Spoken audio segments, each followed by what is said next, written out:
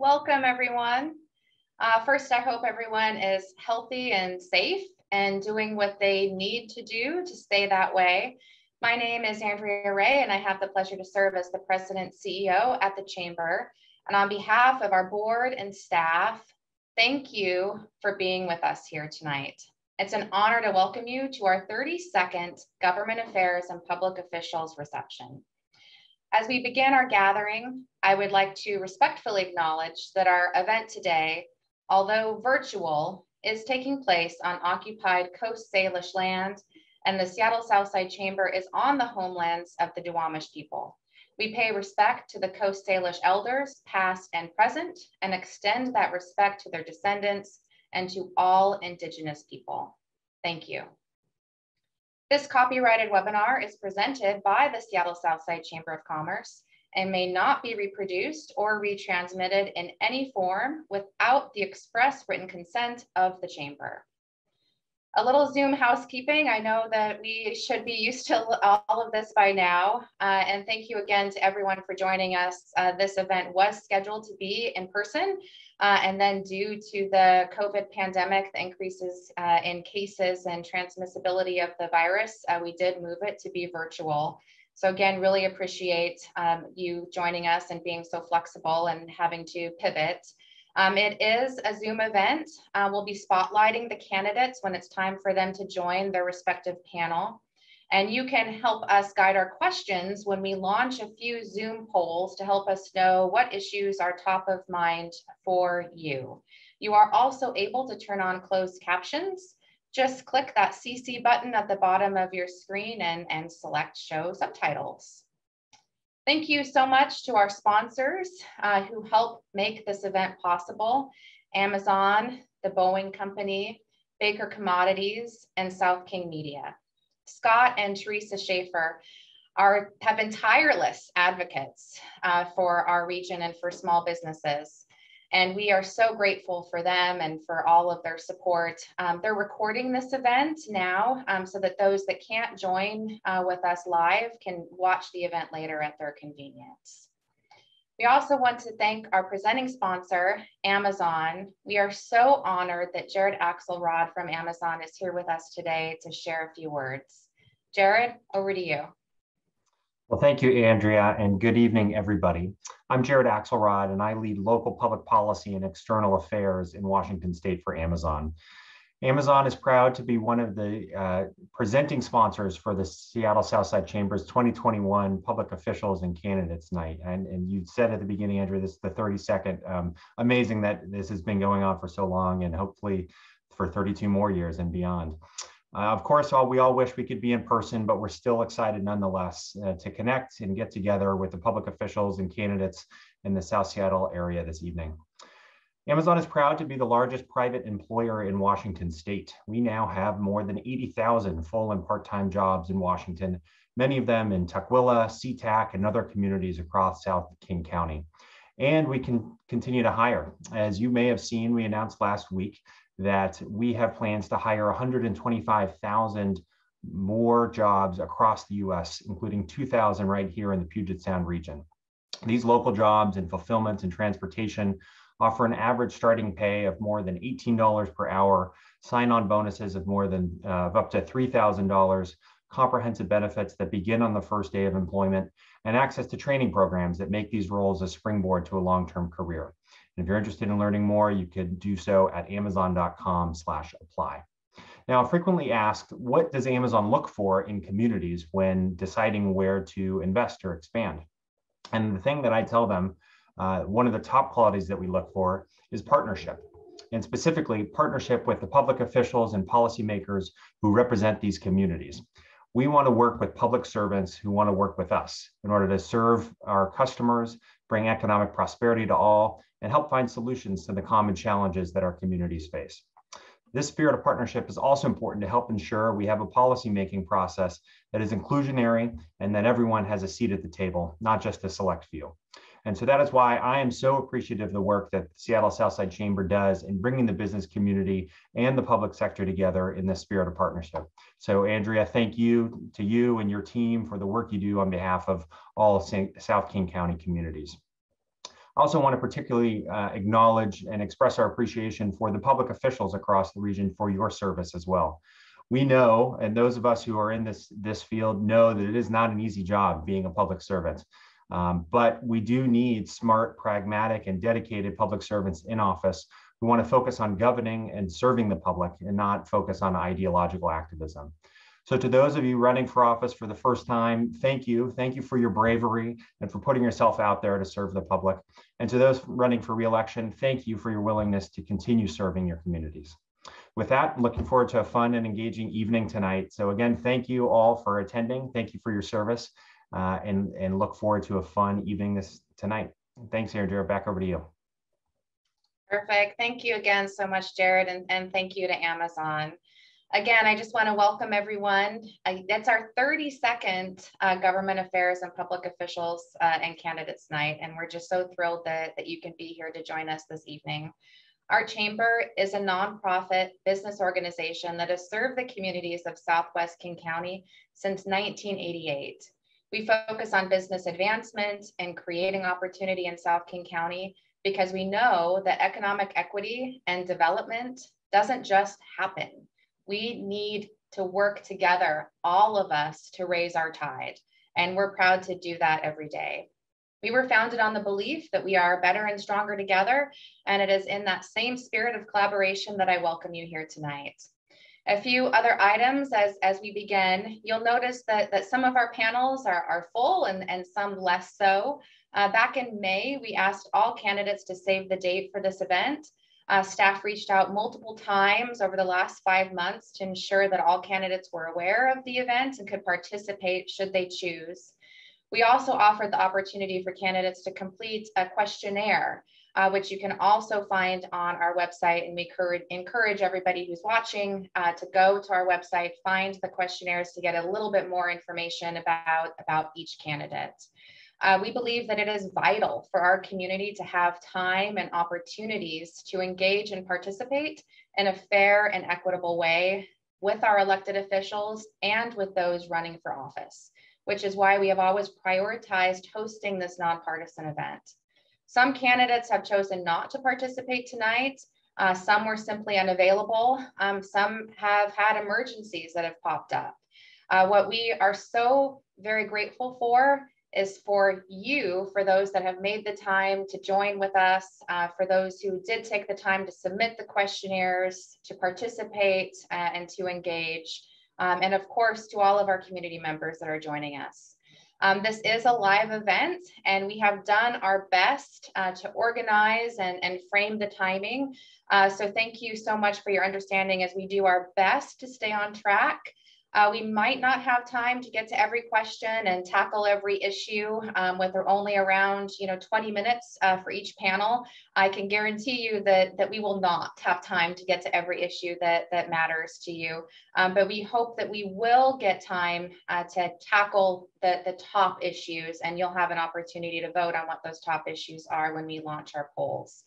I also want to take a moment uh, just to thank all of our elected officials that made time to be with us here today. Um, there's a list here of everyone who, who is here in attendance. Um, we are so grateful for the partnership. Uh, we are so grateful for the engagement. Um, as Jared said, it takes supreme courage and bravery to serve um, and to be called to that public service. Um, and we salute you all and, and we thank you all for your for your bravery and your courage and, and are so grateful that, that you are willing to, to work on behalf of our community. Uh, here is the agenda uh, for tonight, um, what we're going to be doing. Uh, we will bring up uh, the candidates uh, in the following order. Uh, 520, uh, we will welcome our Tukwila City, City Council candidates. Uh, we might start a little early if I can have staff confirm uh, that we have everybody here in attendance. Uh, we will then move on to SeaTac City Council. Uh, we had saved some time for Normandy Park City Council candidates. Many of the Normandy Park City Council candidates are running unopposed. Um, and I do not believe that any of them have confirmed their attendance tonight. Um, so if we get to that part of the program and we do not have any elected officials from the City of Normandy Park in attendance, uh, we will simply take just a brief intermission so that we can still stay on track uh, with our timing. Uh, we will then go on to Des Moines City Council, Burien City Council, uh, Port of Seattle Commission, King County Council, and then King County Executive. How this will work for every panel um, is that we will launch an interactive poll. And so at the beginning of each panel, a poll will pop up in front of your screen. And as an attendee, you will have an opportunity to pick what local issue is top of mind for you. Um, and then that poll will go away. Um, staff will uh, see which is the, the local issue that, that is the top local issue. Um, I will then uh, start with the icebreakers. Uh, each candidate will have an opportunity to introduce themselves uh, by answering what we hope will be a fun icebreaker question. Uh, they'll have two minutes to respond, um, and Preston will be keeping track of timing. Um, Preston, do you want to unmute yourself just really quickly and let candidates know um, that the noise they will hear um, if they have hit their timing?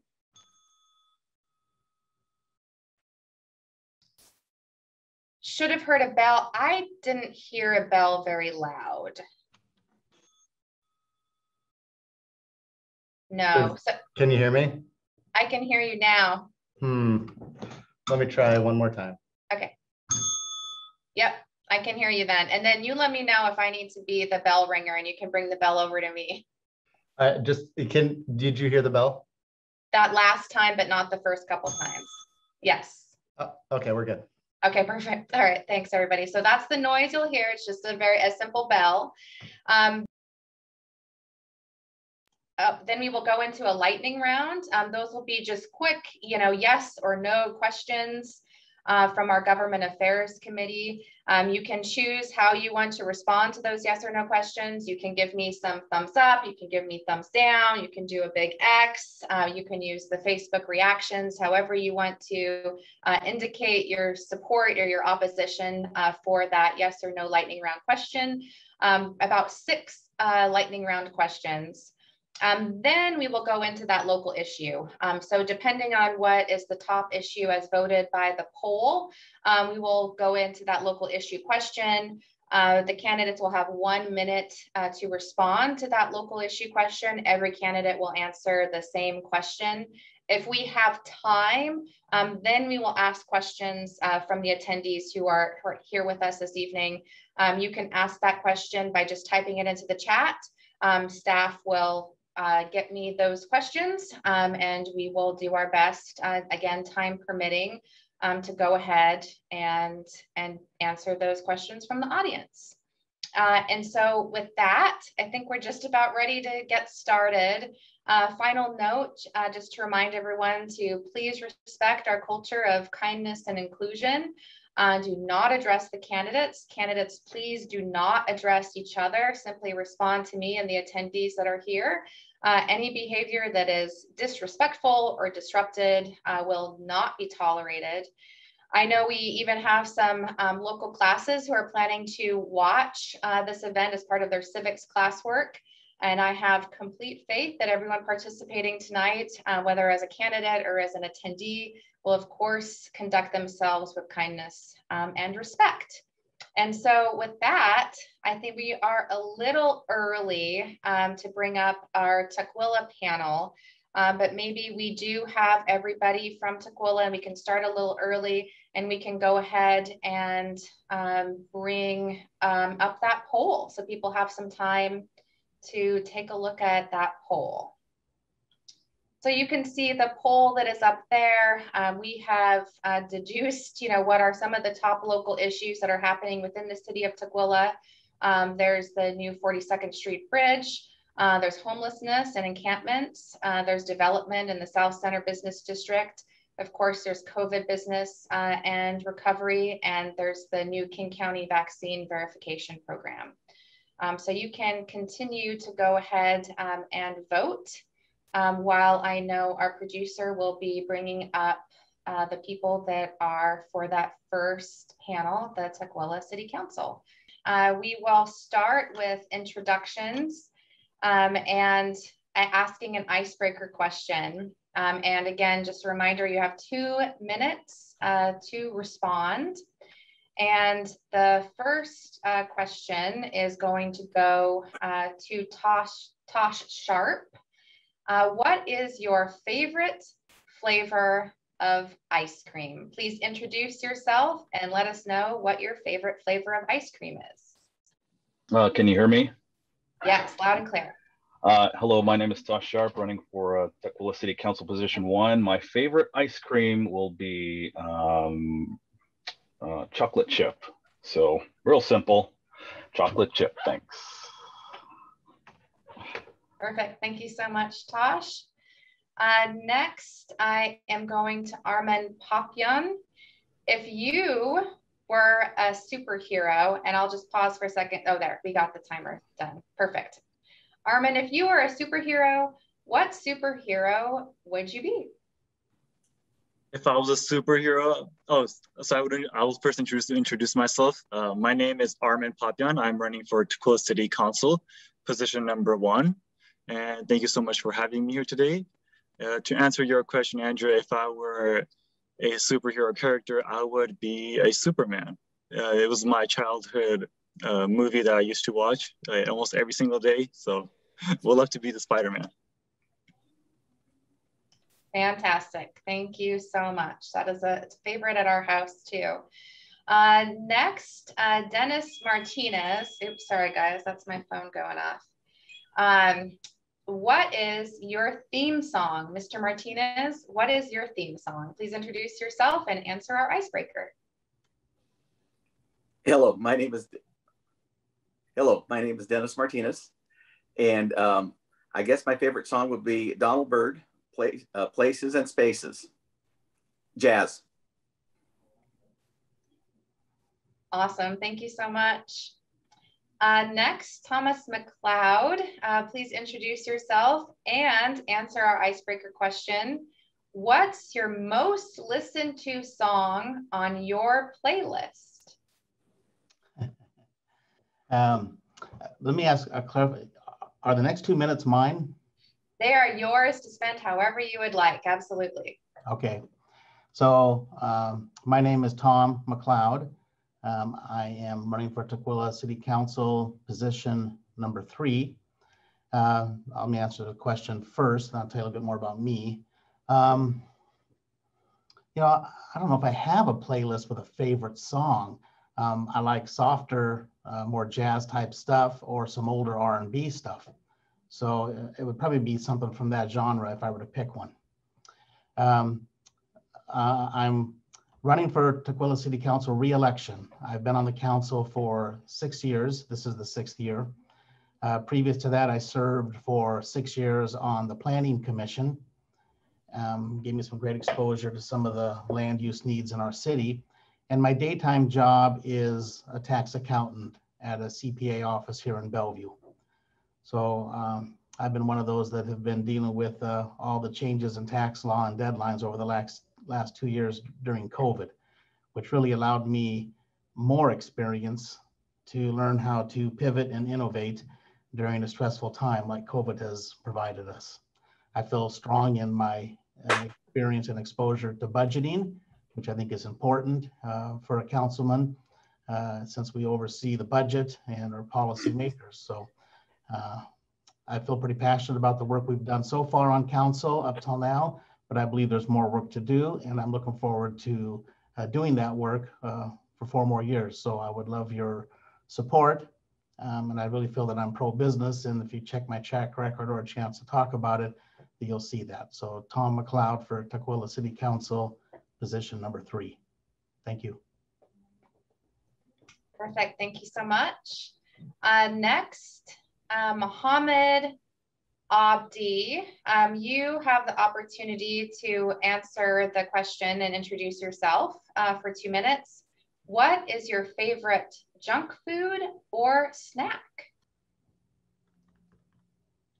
Uh, thank you so much, uh, Andrea, for, you know, and everybody in the chambers uh, for allowing me to be here today. It's an honor and privilege. Um, again, my name is Muhammad Abdi, and I'm running for Tukwila City Council position five. Uh, to answer your question, what is my favorite junk food? I'm a chips kind of guy. You know, I, I, I, like chips. I think chips goes with just about anything. Uh, so anything hot, honestly, it could be hot Cheeto puffs, it could be tapatio, any of those things. I think I don't know. I'm I'm a big chips guy, so yeah, that's my favorite junk food. And yeah, uh, you know, um, a little bit about me. I'm, you know, uh, I'm a, a long time school resident, and you know, I'm 24 years old. You know, run for Tukwila City Council. So for me, um, you know, I'm trying to give back to the community that raised me the man I am today. I moved uh, to Tukwila in '97 when I was an infant, and um, yeah, I just wanna just wanna give back, and uh, also, you know, hopefully inspire people that you know uh, that hey, you know, even if you're young, you can or should be able to run for office, you know, and uh, yeah, I'm just honored to be here today, and uh, yeah, thank you. Perfect. Uh, thank you so much. Really appreciate it. Uh, and next, uh, De'Sean Quinn. Uh, you have two minutes uh, to introduce yourself and speak to all of our attendees today. And of course, answer this icebreaker question. If you were trapped in a sitcom, what sitcom would that be? That's a tough question. Uh, good evening. My name is De'Sean Quinn, uh, and I am running for the Tukwila City Council position number seven. Um, I'm committed to public service uh, and policymaking. So if I was trapped in a sitcom, um, I would say Seinfeld uh, because of the many different iterations and experiences um, that I've actually had uh, in my life uh, in some of those episodes. So uh, that would be one I'd be comfortable being trapped in.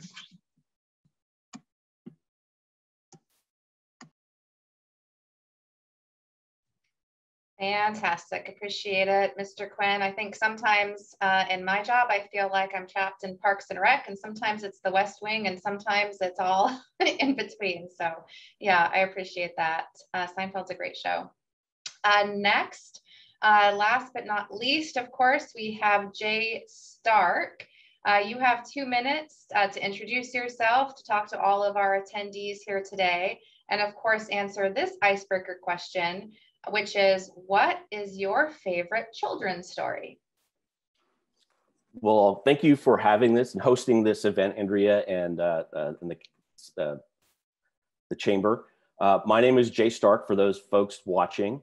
Um, I am running for position number seven for city council.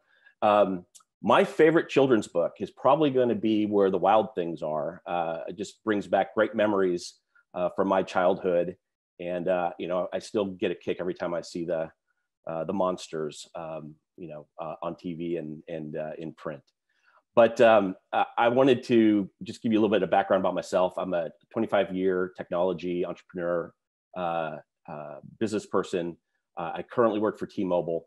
Um, as you can see, I'm, I'm sporting my my Southside Chamber shirt, my business shirt. I'm very focused on the business community um, being from the business world myself. Um, my wife is a, a, small business owner that we run out of here in Tukwila. We moved uh, here from Seattle about three years ago and um, co-founded a business district uh, down in just over the border in Georgetown, Seattle, which was the Seattle Design District Association, uh, which supports the design community. And um, we've already seen, we moved here three years ago because Seattle was just getting out of control but we've already seen lots of other folks in the design community move to Tukwila with no promotion whatsoever. They just wanted to get away from the, the Seattle politics and, and bad uh, policy. And so we've already seen some of those folks move down here. And I want to promote uh, Tukwila as the second design center of, of the Seattle area. And uh, I'm really looking forward to uh, getting on board and, and promoting uh, small businesses and the design community here in Tukwila. Thank you all. Perfect. Thank you so much. Really appreciate it. Everybody's being so good on their time. I appreciate it. Uh, thank you. Uh, so now we're getting ready to go into the lightning round. Um, so again, those reaction, you know, buttons um, are here. Uh, you can, you know, do a thumbs up if you like something, you know, certainly You could do a heart. Um, you can also just do the old fashioned way and, you know, thumbs down or big X if you're, if you're a no, you don't like something. Um, so we're going to go ahead um, and start that now. Um, there's six questions.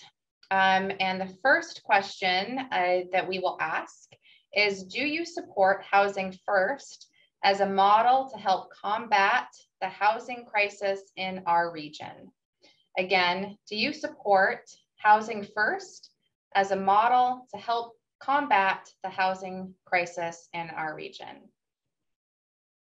See some reactions there. Perfect. Great. Thank you so much. All right, we've got the hang of this. I appreciate it. Uh, next question. If fully funded, do you support safe injection sites as a model to help combat the opioid crisis in our region? Again, if fully funded, do you support safe injection sites as a model to help combat the opioid crisis in our region? Perfect. All right, we've got all of those registered. Thank you. Uh, next question. Do you think economic development is important to the future of Tukwila? Again, do you think economic development is important to the future of Tukwila? Perfect. Thank you. Next question. Do you think that current policy does enough to encourage or incentivize development and or redevelopment? Again, do you think current policy does enough to encourage or incentivize development or redevelopment? Perfect. Thank you so much. Next question. Do you think it's important to fund and support marketing efforts in our region for business advancement, recruitment, and tourism. Again, do you think it's important to fund and support marketing efforts in our region for business advancement, recruitment, and tourism? Thank you. Last lightning round question. Do you or will you include the business community as part of outreach and public engagement when considering policy? Again, do you or will you include the business community as part of outreach and public engagement when considering policy? Perfect. All right. Thank you all so much. Really appreciate that. I know some of these questions are a little hard, yes or no's, uh, but it's good just to get a, a, just a temperature check on some of your uh, opinions on some of those issues that are important to our, our members. Um, now we're going to go ahead and go into the lightning round, or, or, sorry, the local issue question. And in looking at our poll, um, and if staff want to go ahead and end that poll right now, it looks like uh, homelessness and encampments um, is the top concern uh, for people uh, in the community right now. And so I'm going to ask you a question on homelessness uh, and encampments. And then we will go ahead and go in reverse order. So starting with you, Jay, since you went last, you're gonna go first this time and we'll just go backwards that way. Um, and just a reminder that you'll have one minute to respond uh, to this question. And that question is, what role, if any, um, should encampments play in addressing homelessness in Tukwila? Again, what role, if any, should encampments play in addressing homelessness in Tukwila? Yes, thanks. Uh, great question. Um, this is one of the, the big reasons why we, my wife and I, moved with our business out of Seattle uh, in the Georgetown area. If you guys have been up there, it is it's awful. Um, the the decommissioned RVs are parked on the roads. The the tents that are given out by Seattle City Council to the homeless, where they're they put the tents up on sidewalks where you can't even use them as sidewalks any longer. Uh, and then the you know the, tr- the trash and the drugs and the needles uh, and quite frankly the crime that comes out of these homeless camps because um, they are um, um, funding their drug habits.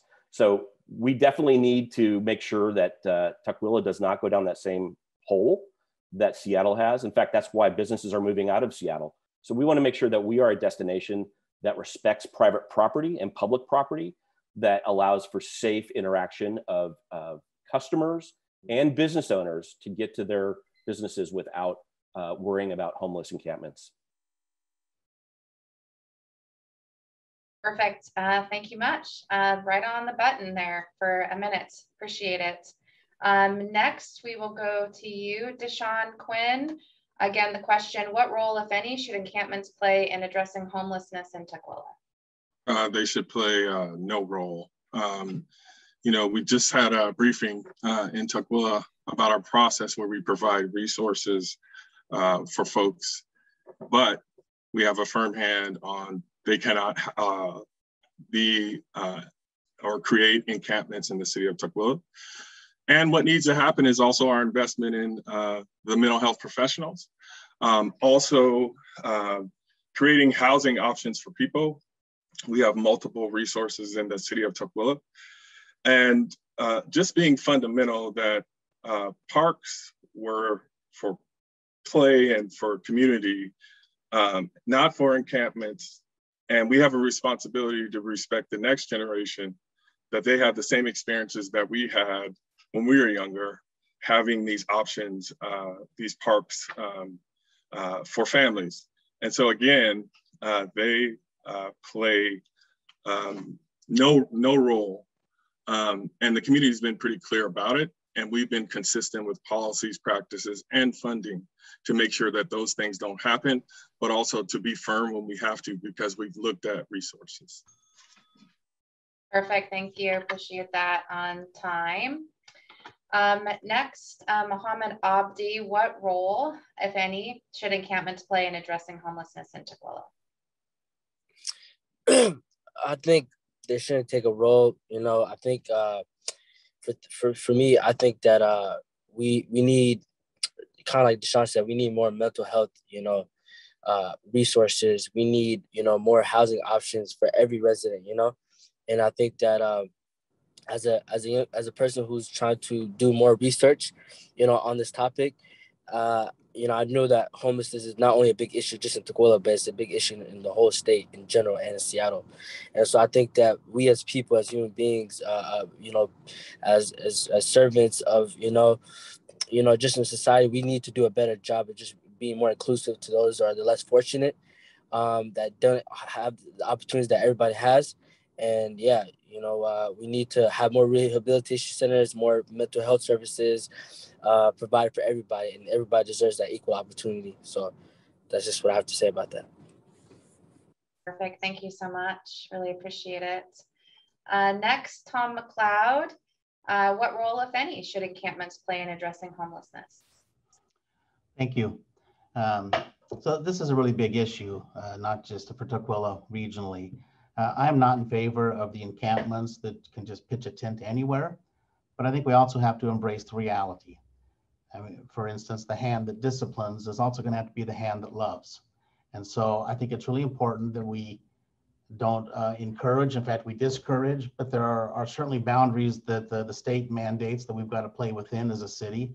Um, but I want our parks to be safe. I want our trails to be safe. I don't want people to feel that uh, this, these areas have been overtaken. So I am not in favor of them, but I do think we need a solid plan and a policy that deals with uh, people in that situation, why they're there.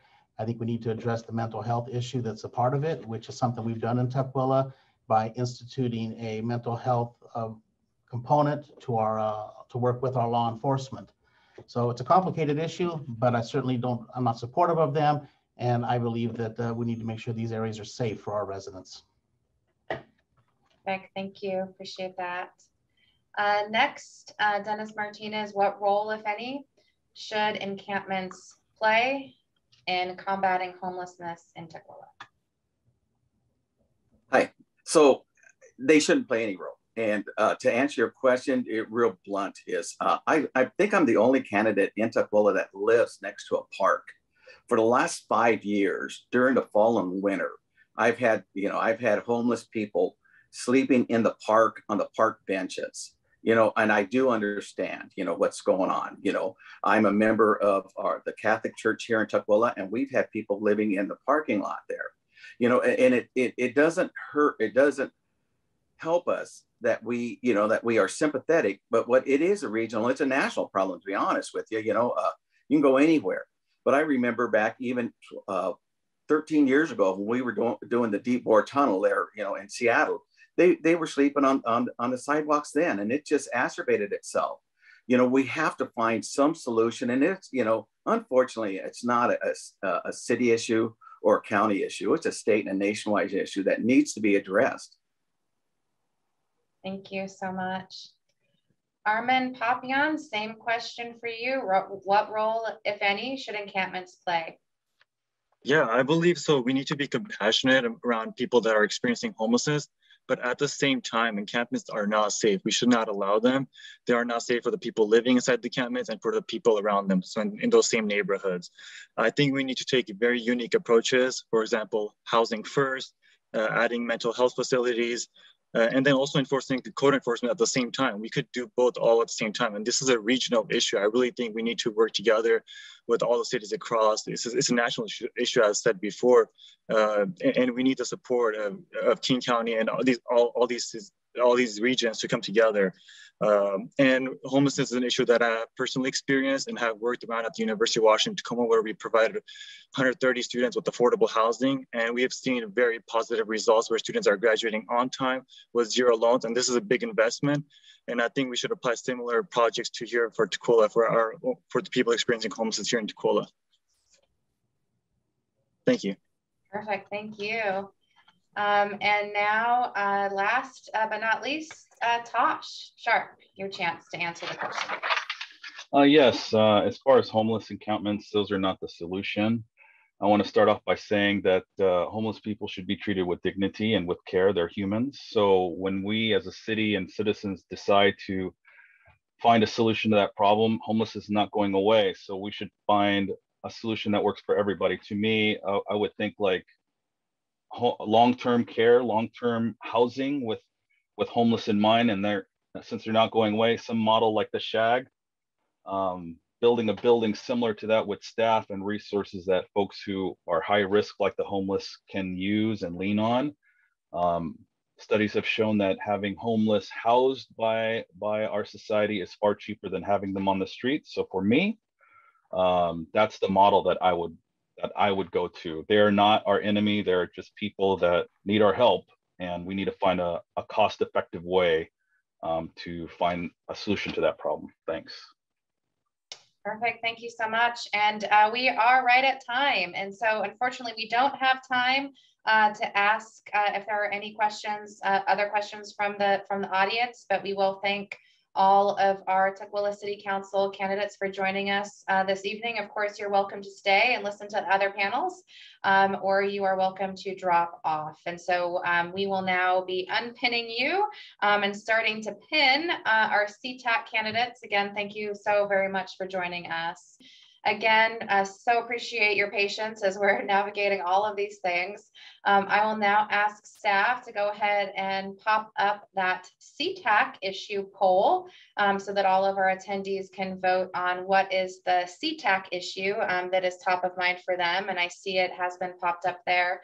Again, citing a second airport, police service contract with King County Sheriff's Office, uh, the impacts of SeaTac Airport, uh, business recovery, or King County vaccine verification. So you have a few more minutes to continue to register your responses uh, while we go into uh, the introductions. Again, just a reminder that you have two minutes uh, to introduce yourself and answer the icebreaker question. You can please feel free to use that full two minutes uh, however you would like to introduce yourself and talk to us about your campaign and your candidacy.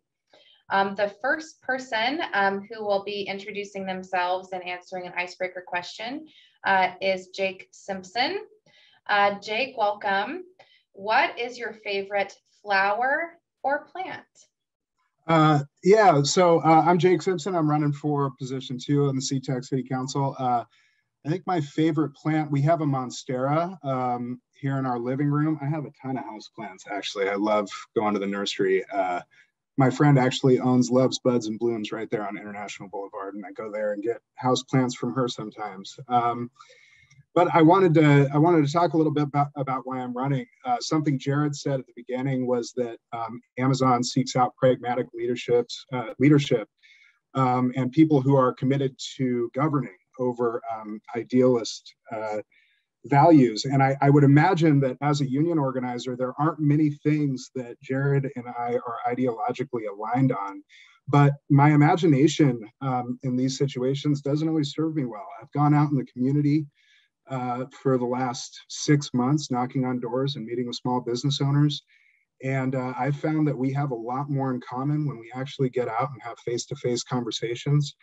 And I think that that's really the key. Um, I think everyone's tired of of partisan bickering. And, and there are so many issues in SeaTac that we can come together on that aren't partisan issues, like sidewalks and streetlights and uh, safe streets and and making sure that our kids have uh, you know great parks to play in and things like that. Those are things that we all want.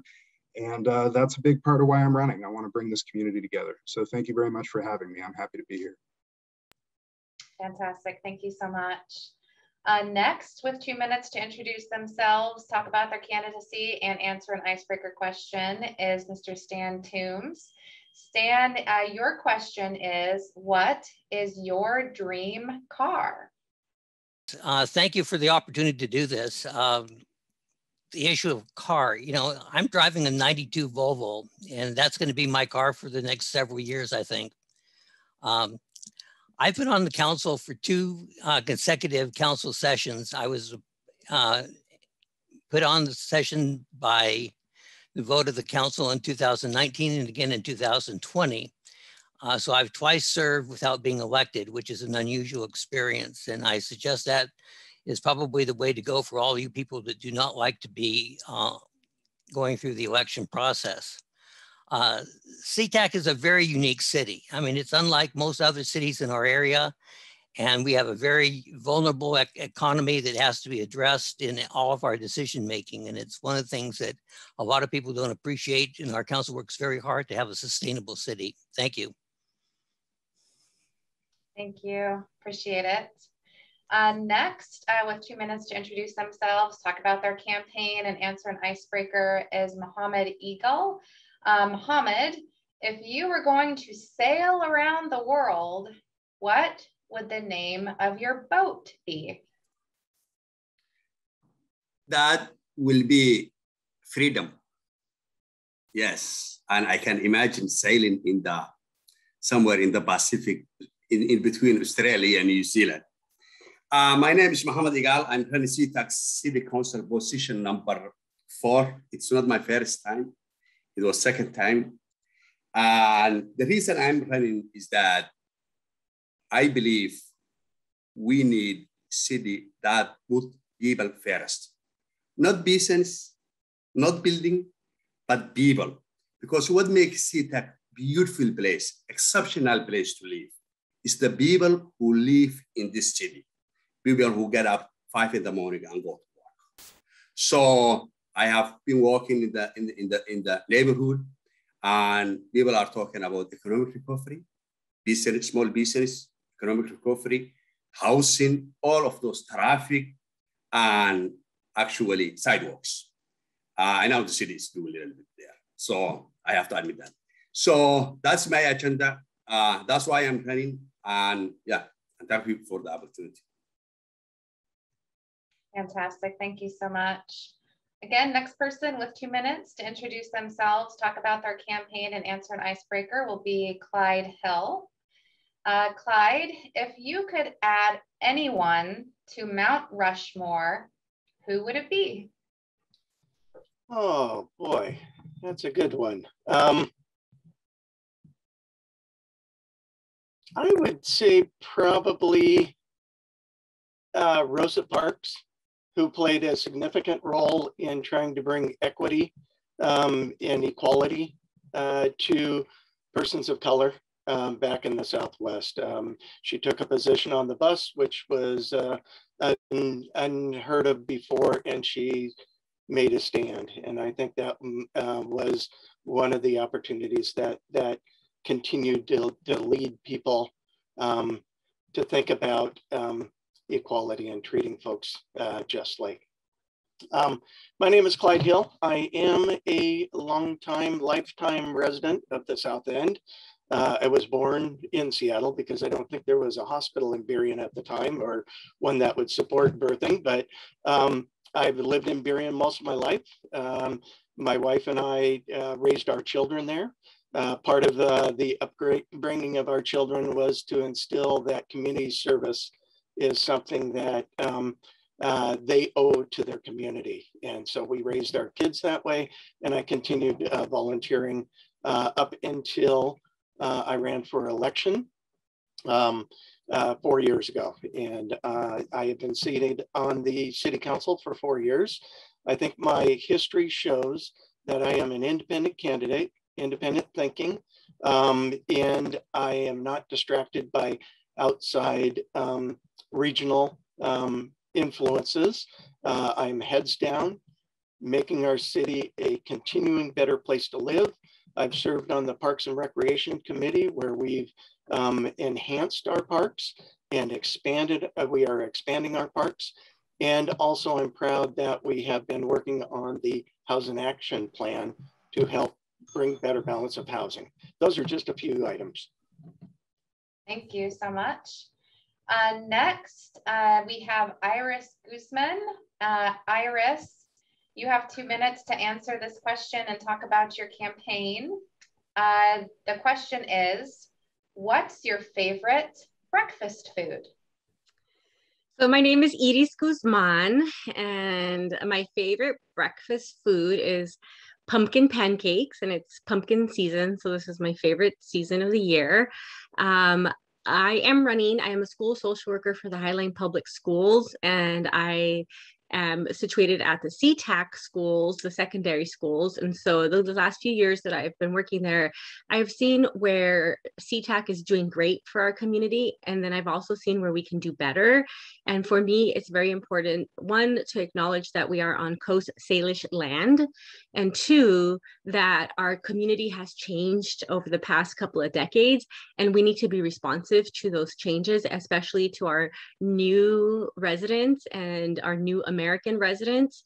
Um, as someone who is a child of immigrant parents, I know what it's like to walk into spaces and communities where I don't always feel welcomed and I don't always feel like I have a seat at the table. And I'd like to change that because it's important to acknowledge that we all come from somewhere, that we are not original inhabitants of this land. And so we need to make sure that as folks arrive from different parts of the world, different parts of the region, even if we're coming from, you know, say Seattle to SeaTac, that we are all working together and that we are bringing our differences as strengths and building upon that and that we're not viewing them as deficits and that we're not continually pointing out um, how long we've lived here or how we've contributed in one way or another because there's different ways that people contribute that aren't always tangible or quantifiable, but it does make our region stronger and better. And that's something that I want to make sure that someone like me has a seat at the table so that other folks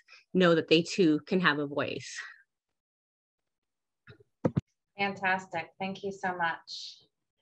Uh, next, we are going into our lightning round questions. So again, uh, whatever reaction you would you would like, uh, whether that's good old fashioned thumbs up, whether you want to use the Facebook reactions, whether you want to do thumbs down, uh, it's totally your call. Uh, first question for everyone: Do you support funding for healthcare and mental health to help keep our communities healthy and safe? Do you support funding for healthcare and mental health to help keep our communities healthy and safe. Great, thanks everyone. Uh, next question, uh, do you support efforts to develop a second commercial airport to meet our region's future air passenger and cargo demand? Do you support efforts to develop a second commercial airport to meet our region's future air, passenger, and cargo demand. Everybody's registered, perfect.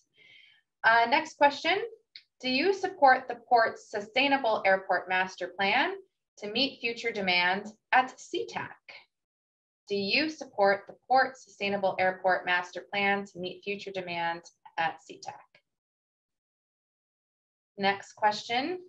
Do you think it's important to include broad public outreach and engagement when making policy decisions? Again, do you think it's important to include broad public outreach and engagement when making policy decisions? Next question. Do you think it's important to fund and support marketing efforts in our region for business advancement, recruitment, and tourism? And do you think it's important to support fund marketing efforts uh, for business advancement and recruitment? Perfect. Thank you. Last lightning round question. Do you or will you include the business community as part of outreach and public engagement when considering policy? Fantastic. Great. Thank you so much, everyone. Um, and now it's time to close our poll and see what is the number one uh, issue that the community wants you to talk about. Um, and in looking at it, it looks like it is police services uh, and the contract with the King County Sheriff's Office. Uh, so again, uh, Ms. Guzman, you will have the opportunity to answer this question first. Uh, you will have one minute to respond. And the question is, the city of SeaTac currently contracts police services with the King County Sheriff's Office. Do you support a continuation of that contractual contractual relationship, uh, or would you like to see something else for policing in the city? So again, one minute, uh, continuation of contract, uh, or would you like to see something else? Um, I actually would like to see a continuation of the contract with modifications. I am aware that a big chunk of the budget goes towards that contract. My concern with severing those ties and having, say, a SeaTac police department is that we may or may not have the same type of oversight and relationship out in the community that we need. And so I would be concerned about having our own police department that may not have as broad of reach um, in terms of being able to respond to violent crimes. Um, as a school social worker, though, I would like to see funding go towards not just mental health, but also other types of services so that when we have a nonviolent crises, instead of using our police resources for that, I'd like trained professionals to go to that. Um, I've had to call non emergency police for crisis um, events, and it was not helpful the way it probably is meant to be. And so I would like to continue the King County partnership, but with expanding it, adding additional services um, with for crisis. Perfect. Thank you. Sorry, I, I think you. I don't think it was hard to hear the bell, so that's why they they muted you just there at, at the very end. But I think we got your your last sentence and so appreciate it. Thank you so much. Um, next uh, question, again, continuation of contract with uh, King County Sheriff's Office, or would you like to see something else? Uh, that goes to you, Mr. Clyde Hill. Thank you. Um, as far as the uh, police uh, services contract with King County goes, um, it is just good business sense to make uh, take a look at your contracts. We had done this recently with the uh, the regional fire department, and we ended up saving um, tax dollars for our citizens. We we retained the same amount of services. So, in essence, why the council is looking at that contract at this time is to ensure that our residents and our businesses are getting the best value for the dollars that are spent. And, and therefore, it's not, it's not that King County is, is not serving our needs. We just want to make sure that we are getting the best value. So that's, that's why we're currently looking at that contract. Thank you. Thank you. Appreciate it. Uh, next uh, is Mr. Mohammed Egal. Same question. Uh, continue the contract. Uh, look at something else. I will terminate King County uh, Sheriff uh, contract and I will expand SeaTac Police Department. I will hire local boys and girls who born, grow up in this community, who knows their neighborhood, who can walk it, walk in the neighborhood and say, hey, Mary, in, in, in, in the street. I will hire and expand it. Um, I want to say one thing that is very important. Some people assume that people of color are anti-police. I love police. I love our firefighters. I respect them. But if you know something that you don't know, it's not something that that you are comfortable. That's human nature. So I want to build relationship with the community, especially community of, of color, and hire local boys and girls from those communities so they can serve in their community.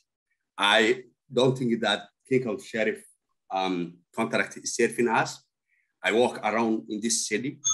Uh, there, there is part of the Sorry, we had to cut you off there. I appreciate it. Thank you so much. I know one minute is really, really hard. And it's it's hard to, you know, get a lot into the 20 minute panel. It is hopefully giving everybody a little snapshot. So I appreciate everybody's uh, patience with that. Uh, Mr. Jake Simpson, uh, you have the opportunity to answer this question as well.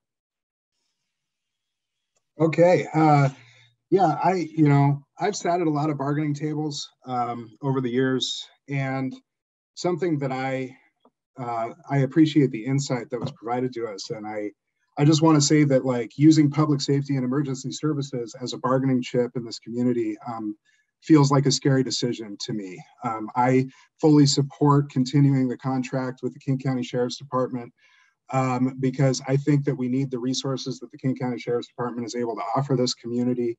Um, and I support a regional approach to uh, the fire service as well, um, uh, because that's what our fire department needs in order to respond to crisis uh, in this community. Um, so thank you very much. Perfect. Uh, thank you, Jake. Um, and I'm so sorry I went out of order a little bit and uh, passed over you, uh, Stan Tombs. Again, I apologize. Of course, you also have Uh, an opportunity to answer the same question. So thank you. Okay, thank you. Uh, I'm sure you understand that this is an issue that's going to come before our council. So it would be inappropriate for me to state a final decision that I'm going to take until we've had the opportunity to hear all the information coming in that will be presented by all parties and, and press the evaluations of our professional city staff we have tremendous amount of support for our King County sheriff officers that serve SeaTac Police Department. It's not an issue about whether we support these officers and their uh, administration. It's a question about what policing in SeaTac is going to look like in the future and whether it will continue in the same model it is today or whether there's going to be a different model imposed on SeaTac. And that's the issue that we're going to take a very close look at as well as the costs and the performance outcomes to our citizens. Thank you. Fantastic. Thank you so much. I uh, really, really appreciate it. Um, and that does conclude uh, the panel for SeaTac City Council. Again, thank you so much to all of our county, our city council candidates who have made the time uh, to be here with us today. Again, please feel free um, to stay on and listen to other city council candidates um, as we bring them up. Um, and again, really appreciate it. So thank you to our producer who is now unpinning um, everyone from the SeaTac panel. And I am now just going to ask staff if we do have anyone um, from the city of Normandy Park.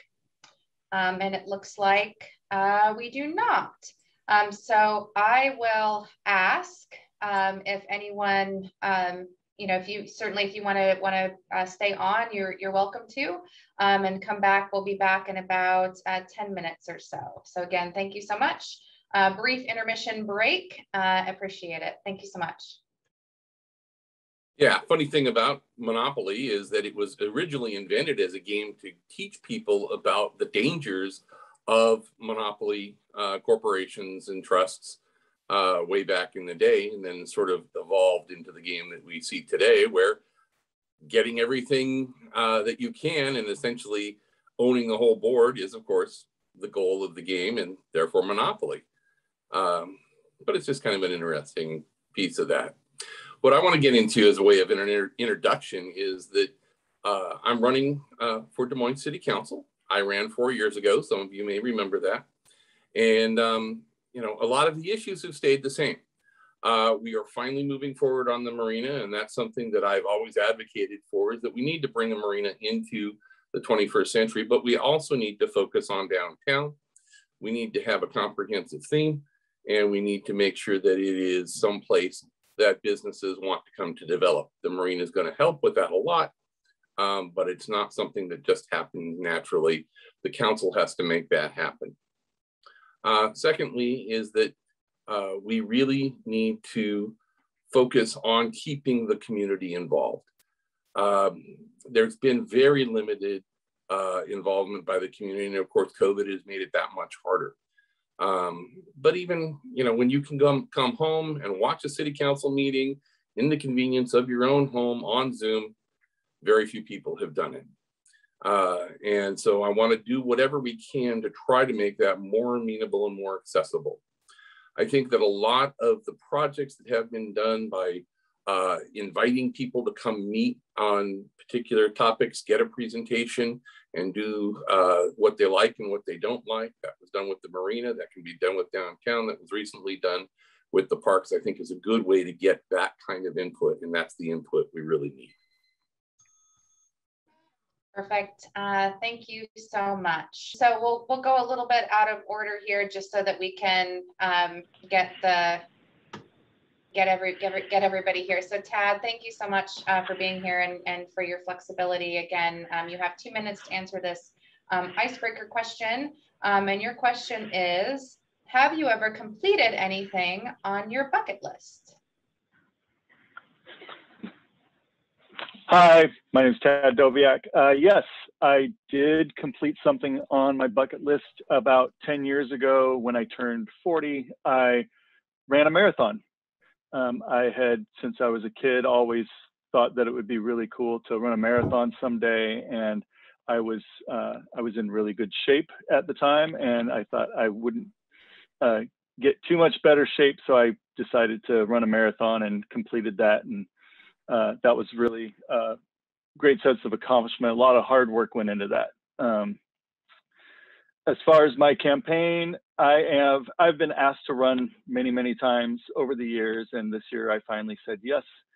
Um, my focus is to uh, work on business development downtown. Um, I've brought to the city council uh, before about uh, you know cohesive look downtown uh, as well with signage. Um, basically, I kind of subscribe to the, if you build it, they will come, uh, which is uh, um, if we have the places for people to come and visit, they'll come and visit. Des Moines has some natural beauty that we can take advantage of. And um, I was really heartened to see the uh, the foot ferry uh, trial that we did the uh, this last week, getting more uh, foot traffic in uh, will help revitalize downtown as well. Uh, my other focus is, of course, public safety. Uh, we have a lot of crime issues in our neighborhoods that I hear my neighbors and other citizens uh, complaining about. Uh, between if it's you know mail theft, car prowls, car theft, a lot of car thefts in the last couple of months. I really want to help our police department uh, keep uh, public safety on the uh, forefront. Thank you. Thank you so much. Uh, appreciate it. Um, and now we have uh, Gene, and Gene, I'm so sorry, I'm probably going to mispronounce your name, and you can correct me. Is it Oxiger? Um, and your icebreaker question is, what is your favorite dessert? Oh, geez. uh, wow. Uh, I'm not quite sure. Uh, I, you know, I don't eat that much dessert, but uh, uh, probably ice cream. So anyway, I'm uh, Gene Achziger and I'm running for Des Moines City Council position three. Uh, I've been a community activist for 45 years. And the reason I'm running is that our kids are, are our future, but because of the pandemic, our kids have fallen behind socially, academically, and emotionally in ways that could harm their physical and mental health for years or even decades. Um, while the effect is universal, it's uh, uh, in particular, our Black and Latinx uh, neighbors are suffering the most significant decline in life expectancy since 19 or since uh, World War II. Even those not affected by the coronavirus uh, could suffer health problems related to poverty, uh, job loss, eviction, or all of the above. Um, many kids have gone back to school this fall without having mastered the previous year's uh, curriculum. Some kids have disappeared from school altogether, and educators worry that more students will drop out, damaging their future earnings potential. This loss of educational opportunities is not just deprived kids of uh, better career, careers, it's also having a damaging impact on their, their lives. Uh, these are, or their life expectancy. Uh, these are not problems that our uh, schools alone can address. Our city government uh, has uh, traditionally engaged with the school district to provide enriching recreational programs and before and after school supervision to help our kids succeed. Unfortunately, we've dropped the ball on that. Um, and that's the one thing I want to do is make sure that we restore those programs and that our kids have uh, the opportunity to succeed. Perfect. Thank you so much. Uh, next, uh, Priscilla Vargas, you have two minutes to introduce yourself and answer this icebreaker question. What is your favorite musical instrument and why? Hmm. Uh, probably my favorite musical instrument is the piano. And why? Uh, it's just, I just love the sound uh, that the piano, you know, brings uh, to my ears. Uh, and uh, it's just a, it's a wonderful instrument. So it's very versatile with um, any kind of music. You'll probably hear the piano at some point. So piano, I would say. Uh, little background about me as to uh, my uh, reason for running. Uh, this is my first campaign for an elected position, and I'm running for the City of Des Moines position three. Uh, and uh, I am uh, very excited for the opportunity to be on this on this candidate evening event. Um, I really am running to improve the quality of life for uh, the residents of Des Moines uh, and to build upon the solid foundation of financial stability of our city uh, government. I am um, one that will be very transparent uh, and uh, a consensus builder. Uh, I have over 31 years of experience in the public and private sector for transportation type services uh, with um, general public and people with disabilities. So that's my background. Uh, and I also have uh, three years of experience working as a committee member for the um, City of Des Moines Senior Services Advisory Committee. So I, I already have uh, built a, a, good foundation uh, at the city level with my uh, experience working with the staff. Uh, and I also uh, want to uh, really express what my priorities are, which is public safety and certainly the development of the marina, um, revitalization of downtown and surrounding, surrounding neighborhoods, along with the affordable housing and job creation for a livable wage. So Perfect. Sorry, Priscilla, got got you off there, but I think we we got it. I appreciate it. Um, next, uh, we have uh, Tracy Buxton. Uh, Tracy, you also have two minutes to introduce yourself. Answer this icebreaker question. What is your favorite meal to cook?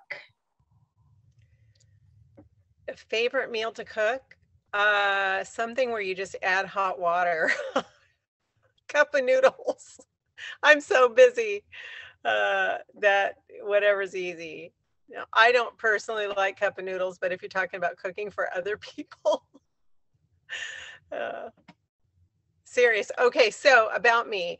Uh, my platform right now is about the same as it was when I was running the first time, working for a safe, green destination community. I feel like on each of those levels, we've made some great strides while I've been in office and but there is uh, there are a myriad of things we can still address in all three areas. So I'm very supportive when we're talking about safety. If you don't have safety, you really don't have a community. So I'm in support of policy that protects our residents and in full support of our law enforcement and all of the ideas that they are uh, crafting to address the issues in our community. I'm uh, in full support of of what they have going. And as far as the green part, we have developed some great partnerships along the way in the last few years, very supportive of policy that can help create a greener environment and preserve the, the environment that we have in our parks and our water, our trees.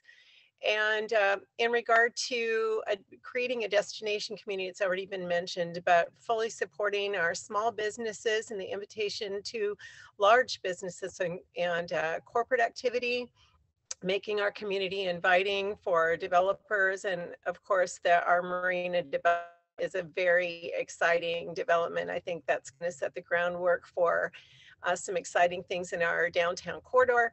So very supportive, small business, large business, creating a destination place for the region. Thank you. Thank you so much. Uh, next, Matt Mahoney, two minutes. Uh, introduce yourself, answer your icebreaker question, which is, what fictional place would you like to visit? What fictional place would I like to visit? Um, I would say uh, I'm a big fan of the Lord of the Rings, so probably what is it, Mid Middle Earth, or whatever, would be scary and exciting at the same time. Uh, my name is Matt Mahoney. I'm the current deputy mayor of the city of Des Moines. I've uh, definitely enjoyed my first term here as it's finishing up. Uh, a few things about me: I'm a U.S. Army veteran. I have 35 years of business experience and I'm very passionate when I sign up for something. Uh, Harry Steinmetz thinks I clone myself because I'm everywhere all the time. I've never missed a city council meeting, committee meeting, and a plethora of local meetings. I also attend a lot of the community events, help with the parade, down at the farmers market, et cetera. So I'm very engaged through the community and I like to talk to the businesses as well. And I know many of them by their first name and have a relationship with them. And I think I'm accessible. I'm, I'm available everywhere and I'm willing to talk with anybody and debate, discuss, and disagree or agree with, with any issue. Uh, I'm committed to the development of the waterfront. That's both at the marina and Redondo to improve our community. And part of that's going to be a catalyst for the downtown where we make ourselves attractive to developers. And I'm committed to that. But I'm also committed up on Pac Highway where we have transit and a light rail station coming in, where we've got some great opportunities for affordable housing, great transit opportunities, and also business opportunities as well. I'm committed to public safety, um, particularly our police. I think our police are on the forefront of, of what the new policing model is, and they look and push themselves forward. So I'm very proud of that. And as a council, we definitely support them in that regard. I'm also supportive of safe streets, paving, making sure there's paving roads and making sure there's sidewalks where our kids' schools are. And I'm. Oh, sorry, Matt. That was two minutes. I appreciate it. Thank you so much. Uh, last Des Moines uh, Council candidate is Soleil Lewis. Uh, your icebreaker question is, if you had your own talk show, who would be your first guest? Ooh, my first guest would have to be Maxine Waters. She's a great inspiration for me. So that'd be my first guest for sure. But just to intro on me, my name is Soleil Lewis, and I'm running for City of Des Moines City Council position number seven. I am proudly endorsed by the Washington State Educators Association, Congressman Adam Smith, the 33rd own Representative Tina Orwall, and Senator Mona Das, just to name a few. As someone who has lived and reinvested her life into South King County.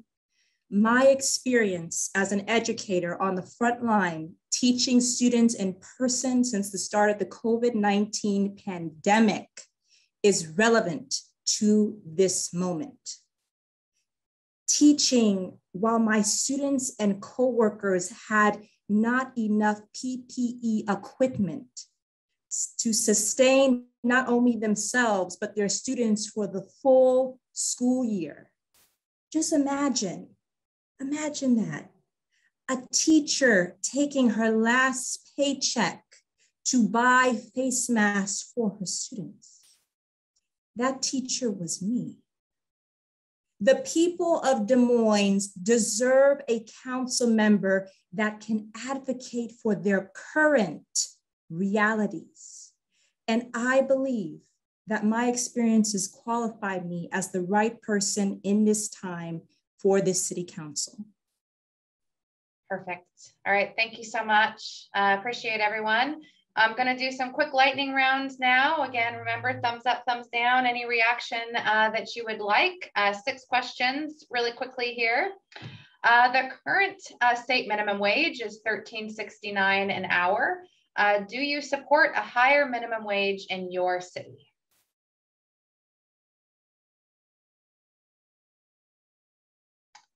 Perfect. Thank you all so much for recording your reactions. Um, next question. Uh, do you support a ban on new natural gas connections uh, to new and residential buildings in your city? And Tad, I'm realizing you are, um, you do not have video. So if you could just say yes or no, we'd appreciate it. Thank you. Um, next lightning round question. Uh, do you support raising taxes and fees to help make up for budget deficits? No. Uh, the line between true crime and nuisance behavior or disorder is often blurred in public perception do you principally agree with the broken window theory that essentially indicates that when a problem goes unintended in a given environment, it can impact attitudes towards that environment and lead to more problems? Yes. Thanks, everyone. Do you support raising taxes and fees to help raise money to support more police and other public safety services? Yes. Uh, last lightning round question. Do you or will you include the business community as part of outreach and public engagement when considering policy? Yes. Perfect. Great. And we are running a little bit behind. Um, so I'm going to try to hurry this up. Um, and we have one uh, issue question we do want everybody to answer. This is one minute to answer the issue question that people most want to hear you talk about, uh, which is marina redevelopment.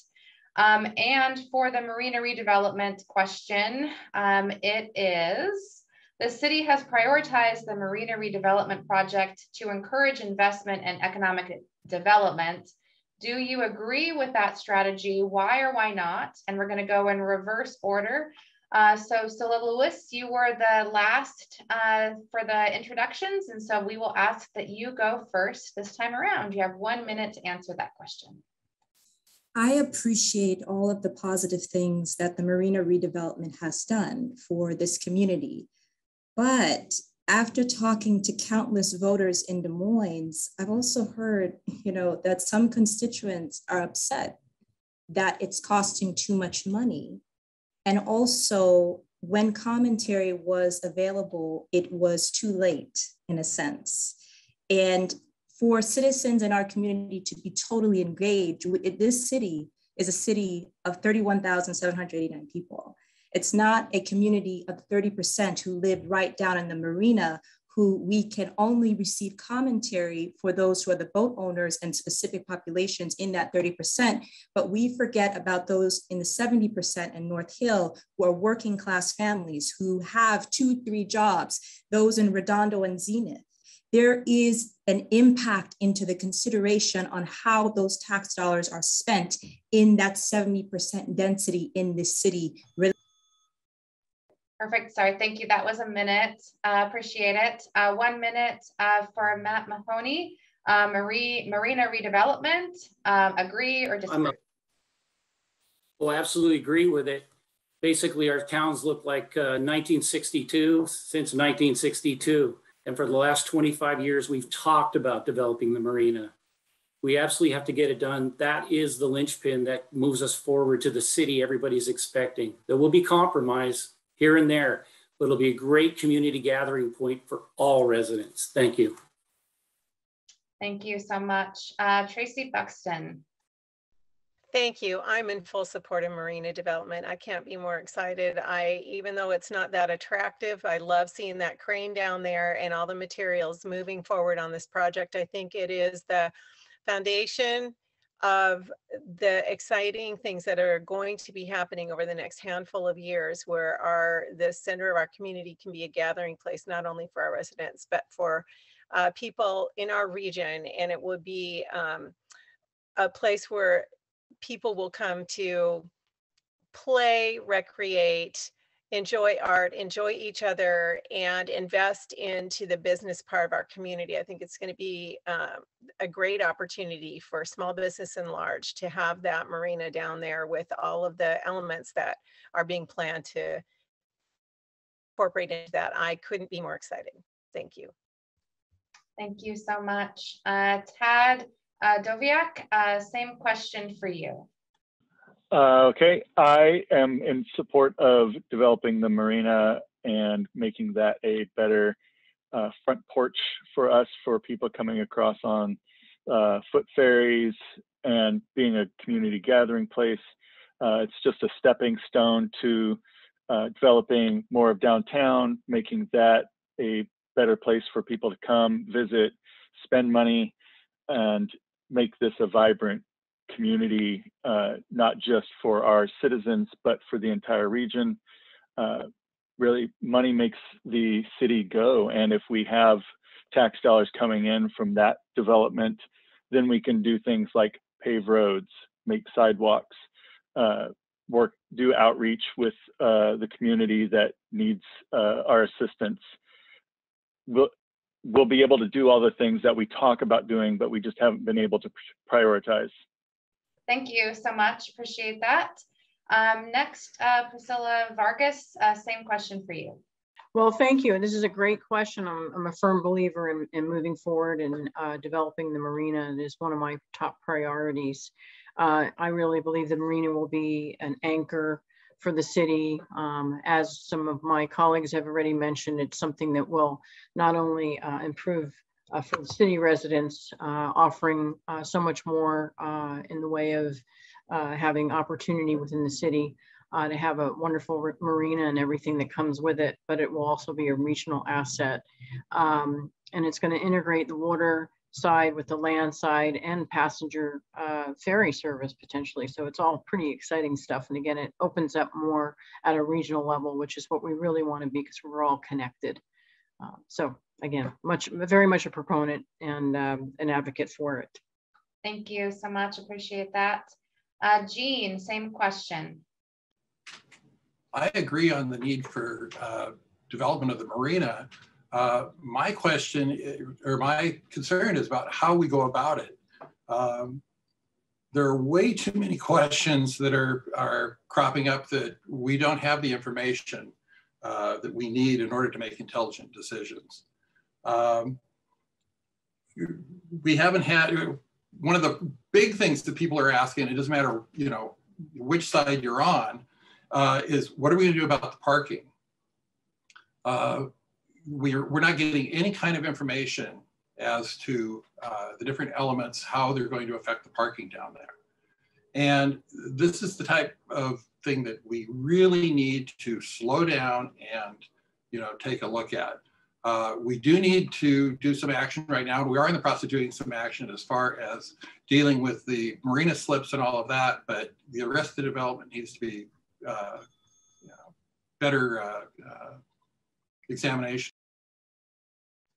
Perfect, thank you. Sorry, we had to mute your last little sentence there. Um, uh, Harry, uh, you are last but not least. Same question, appreciate it. All right, I don't think there's anybody that disagrees uh, that it's time to bring the marina into the 21st century. Uh, it's just been way too long since we had a comprehensive look at making it, it an attractive, as Tad said, front porch to, to our, our city. But that's got to be done with an understanding that it needs to be available and accessible to all of the people in our city. And I think that there are a number of compromises that are being worked out in order to accomplish that. We will be able to accommodate the small boats. So the fisherman that wants to go out for the day but has a smaller boat and doesn't want to have a big slip year round has a place to put his boat and can get that put in the marina. Uh, I think that we need to make sure that there are, uh, you know, uh, basketball courts and play equipment down there for kids and make sure it's still very family friendly. It needs to become a reasonable regional asset that is available to all persons. And I think that's where it's headed. And I think that's a good thing. Perfect. Thank you so much. And of course, thank you to all of our Des Moines City Council candidates who joined us this evening. We really appreciate you taking the time um, and being with us. So again, thank you. Um, our producer will start to unpin you. Again, you feel free to stay and listen to the other panels. Uh, thank you again. And when we will be bringing up our Burien panel. Um, so again, as we bring up our Burien panel um, and begin to launch our next poll, uh, you can choose what local issue is of top concern to you in Burien. And those issues are crime and public safety, uh, homelessness and encampments, the DESC facility, impacts of SeaTac Airport, COVID business recovery, and King County vaccine verification. So again, everyone, please feel free to continue to vote uh, while we go into our lightning round questions. Again, just a reminder, uh, everyone has two minutes to answer an icebreaker question and also introduce themselves and talk about their campaign. Um, and we will go in order by position and alphabetical, uh, which means that Hugo Garcia, who is running for Burien City Council position number one, will get the opportunity to go first. We'll go ahead and put that two minute timer up there for you, Hugo. Uh, and your question is, if you had to teach a class on one thing, what one thing would that be? Uh, thank you so much for the question. Really uh, humbled and uh, excited to be here in front of the business community here of, of South King County and Burien. Um, I'm running for Burien City Council position one, and I'll quickly answer the question to say that I would love to make sure the class that most impacted my uh, development was um, home ec class because it taught home ec taught also how to balance a checkbook for the first time, which was something I was able to share with my own parents, because as an immigrant, that wasn't something that uh, we were used to. So home ec was one of the ones that life skills that are applicable, and I definitely would use that. Um, on to myself, I am a very proud product of a small business. I wouldn't even be in this country if it weren't for a small family restaurant that my dad and his cousin operated here near Burien uh, for a number of years. So I grew up in a small business environment. I saw the challenges that our, our, our, family had as a kid growing up, and it inspired me to get into finance to support small business uh, entrepreneurs and and dreamers to have access to the American dream and economic development. So I've spent 20 years helping folks uh, uh, access uh, small business capital, whether it's SBA programs, federal programs, loans from small banks. I also work with a nonprofit uh, business developer that did uh, uh, business lending programs and financial planning to communities that don't that lack access to to finances. and now, now I also serve King County as an economic development manager uh, where I've served on the front lines of the COVID impact and recovery. Uh, so I'm, I'm super excited to be able to have the opportunity to continue to, to serve and invest in Burien like I have uh, with being your commissioner on business and planning. So thank you for this opportunity. Perfect, thank you so much. Uh, next uh, is Jimmy Matta. Jimmy, again, reminder, two minutes to answer the question and introduce yourself. Uh, and your question is, if you could choose two famous people to have dinner with, who would they be? Well, I think it would be Carlos Santana for music, and it's two. See, what would be the other one? Well, I think it would be uh, Arnold Schwarzenegger. Well, let me uh, just introduce myself. My name is Jimmy Matta. Uh, I'm, the I'm current, currently the mayor of the city of Burien. Um, I, my parents came here, they migrated here from Guatemala 1974. I was born in 1975. Uh, so I'm very privileged to have been born in this country, uh, the United States of America. Not only am I privileged to have been born here, but also to serve in a political office uh, where I get to see the challenges and the successes of people. I currently am seeing the successes of my children. As we all say, we all come from somewhere. And uh, where's the best place in the world but the United States of America? We have flavors from the, around the world. And so I am very pleased to be here. I want to thank the people that have contributed their money making sure that this uh, the candidate still continues to exist and the work that South Seattle, uh, South Seattle Chamber of Commerce is doing. Fantastic. Thank you so much. Uh, next candidate to have two minutes to introduce themselves and answer an icebreaker question will be Mark Dorsey. Um, Mark, if you could be guaranteed one thing in life, what would it be? Oh, without a doubt, happy. I just want to be happy every day. I want to be grateful. Um, that's by far uh, what I currently strive for. So if I can have that, I'm good. And uh, yeah, that would feel good. So uh, just want to say hi to all of the other candidates. I believe this is the first time that I've had a chance to see and chat with each of you or interact. So hello and congrats. Um, so a little bit about me, uh, especially for all the people that couldn't make it due to the technical difficulties. My name is Mark Dorsey. Uh, I am a resident of Burien for 26 years. Uh, I, my children, I have three children that were uh, born and raised in Burien. They went to Gregory Seahurst Elementary, St. Francis of Assisi, uh, Sylvester, Highline, and also Kennedy. So we did the whole uh, Highline schools. Um, I also coached all of my children's sports teams uh, in Burien for about 14 years. Uh, and that was through all different sports. So that's soccer, baseball, basketball, volleyball. Um, president of the Gregory Seahurst Swim Club for six years, that's in Burien. Uh, MC of the St. Francis auction for many years in Burien. I served on the Highline and SeaTac Meals on Wheels for 12 years. Um, I guess what I'm trying to convey to you is that I am a citizen of Burien. And before I even decided to run, I was invested in Burien. And I have a 26 years of experience uh, in volunteering for my community. I love Burien. Uh, I am running for office because I didn't like the way that the direction of our city is going. Uh, rather than complain about it, I decided to make a change.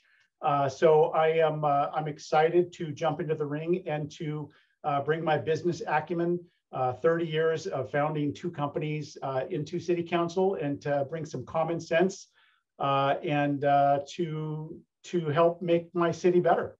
Thank you. Perfect. Thank you so much. next candidate, again, two minutes. Introduce yourself. Answer this question is Sarah Moore. Sarah, if you could be any animal in the world, what animal would you be and why? Did you ask that on purpose? Because there's so many animals I would try to be. Um, I would really like to fly, though. I've always wanted to fly, and I I would like to be. I think a. Uh, okay, this is going to sound funny, but a turkey vulture, because they can soar for so long and just. Uh, go on a full stomach and and and circle around just seeing the world from from a really high up point of view and and get some perspective on things um, so to kick that off my name is sarah moore and uh, thank you for inviting us to this event i'm a 19 year resident of boulevard park i live um, in north burien I've raised a 19 year old UW freshman Noah here and also a 31 year old um, wildlife biologist, Madeline, who is um, here. She returned to Burien after going to a lot of other places and chose this to be her home. My background is in STEM science education. I managed the animal exhibits, during, including the Butterfly House at Pacific Science Center for many years.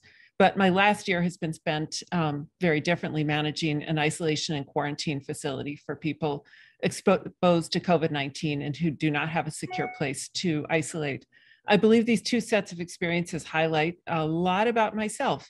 Um, I'm focused on logical solutions, excited to share what I know, but I'm also motivated by belief in public service and responsibility. I believe very much that individual action is important and that local governance makes a profound difference in community well-being and in people's lives. I'm running because I hope my service can make a positive difference. I give my time to Burien volunteering overnight in our homeless shelters, sitting on our Parks Commission, co-founding and co-chairing ACLU Burien People Power. I'm a member of Burien People for Climate Action and co-founded Burien White Center Community Support Network. My commitment to Burien is strong. Perfect. Thank you so much. I uh, really appreciate that. Uh, next candidate, uh, two minutes to introduce yourself and answer this question is Crystal Marks. Uh, Crystal, what is your favorite tradition or holiday? Oh my goodness. Um, I used to say Christmas, but um, since I met and married my husband and my kids have grown up, I've really loved seeing their theatrical takes on Halloween. So decorating our house for fall, getting them excited about trick or treating, all of that has been kind of the best thing ever. And Burien's a pretty safe community to do that in. So and by way of an introduction, my name is Crystal Marks. My pronouns are she and her, and I am the current deputy mayor of Burien. Uh, I hold position seven on the Burien City Council. And um, as a six year now Burien resident, um, I could not have been happier at my family's choice to move back here to where my husband spent his formative years going through grades K through 12 in the Highline School District here in Burien. I'm a mother of four, uh, one child at Hazel Valley, two kiddos over um, in SeaTac and one up in Edmonds because that's just fun. Kids ranging from six to 14 years old. So uh, I am running for reelection for almost the same exact reason that I ran for election four years ago, which uh, centers around public safety. I feel that everyone has the right to feel safe in their community. Uh, and for some people, that means uh, safe from crime perpetrated against them um, in their homes. For some, it's uh, crime perpetrated against them as they are unfortunately living on the streets. And I think it's our job as a city council to make sure we are also taking care of our business community by making sure that when we see things like uh, home or public safety that needs to be tackled, we're seeing it in a holistic sense, meaning we're seeing every aspect that contributes to public safety for these businesses. I'm really proud to have supported public safety enhancements throughout uh, my last almost four years on council through the, the law enforcement assisted diversion program, supporting the storefront police presence that we have in downtown Burien that will be going into effect in October, and uh, a lot more. And I look forward to continue to serving for the next four years. And I'm so grateful to be with you tonight. Fantastic. Appreciate it. Thank you so much to all of the candidates. Um, we will now go into our lightning round. Again, feel free to use the Facebook reactions. Feel free to use your own reactions, uh, whatever you'd like to do. Uh, quick questions here. Uh, first one being, do you support using B&O tax to help cover infrastructure improvements? All right, thank you so much. Uh, do you think that your current city policy does enough to support small business? Does uh, your city currently have public parks that could support or accommodate camping or, or overnight parking? If so, do you support the ability to do so without a permit? Overnight parking, yeah, perfect. Thank you. Um, do you support funding for CTE and career pathway programs to help address our education and workforce needs? Do you think it's important to include broad public outreach and engagement when making policy decisions? And last one, do you or will you include the business community as part of outreach and public engagement uh, when considering policy? Perfect, thank you. And now on to our is issue question. Um, homelessness and encampments um, is the top uh, issue that people want um, to hear from you on. Um, and so I will ask that question, uh, which again is what role, if any, should encampments play in addressing homelessness in Burien? Again, what role, if any, should encampments play in addressing homelessness in the city?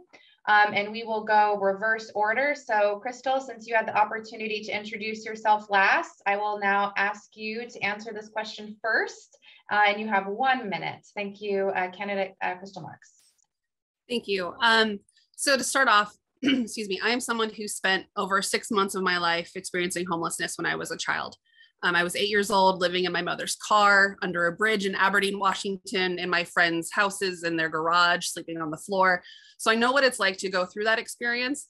I think a encampment is a sign of a failure of society as a whole. It is not something that people tend to uh, say wake up one morning go you know what i'd really like to develop these issues that lead me to this uh, this place and to move myself into this situation Um, however, I believe that it does take time to move people from an encampment into services that benefit them, and that takes trust and communication with a government that may not have been helpful to them in the past, with a police force that they may have seen as adversarial.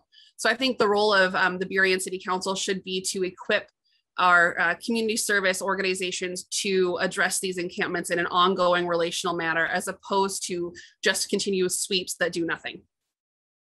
Perfect. Thank you so much. Appreciate that. Uh, Sarah Moore, same question. Thank you. And I want to start this by centering this fact when people are housed, we all win. I don't consider encampments to be a solution to homelessness, but a symptom of it. We can all agree that no one should be sleeping outside in Burien, and that's why I support a housing first approach to combating homelessness.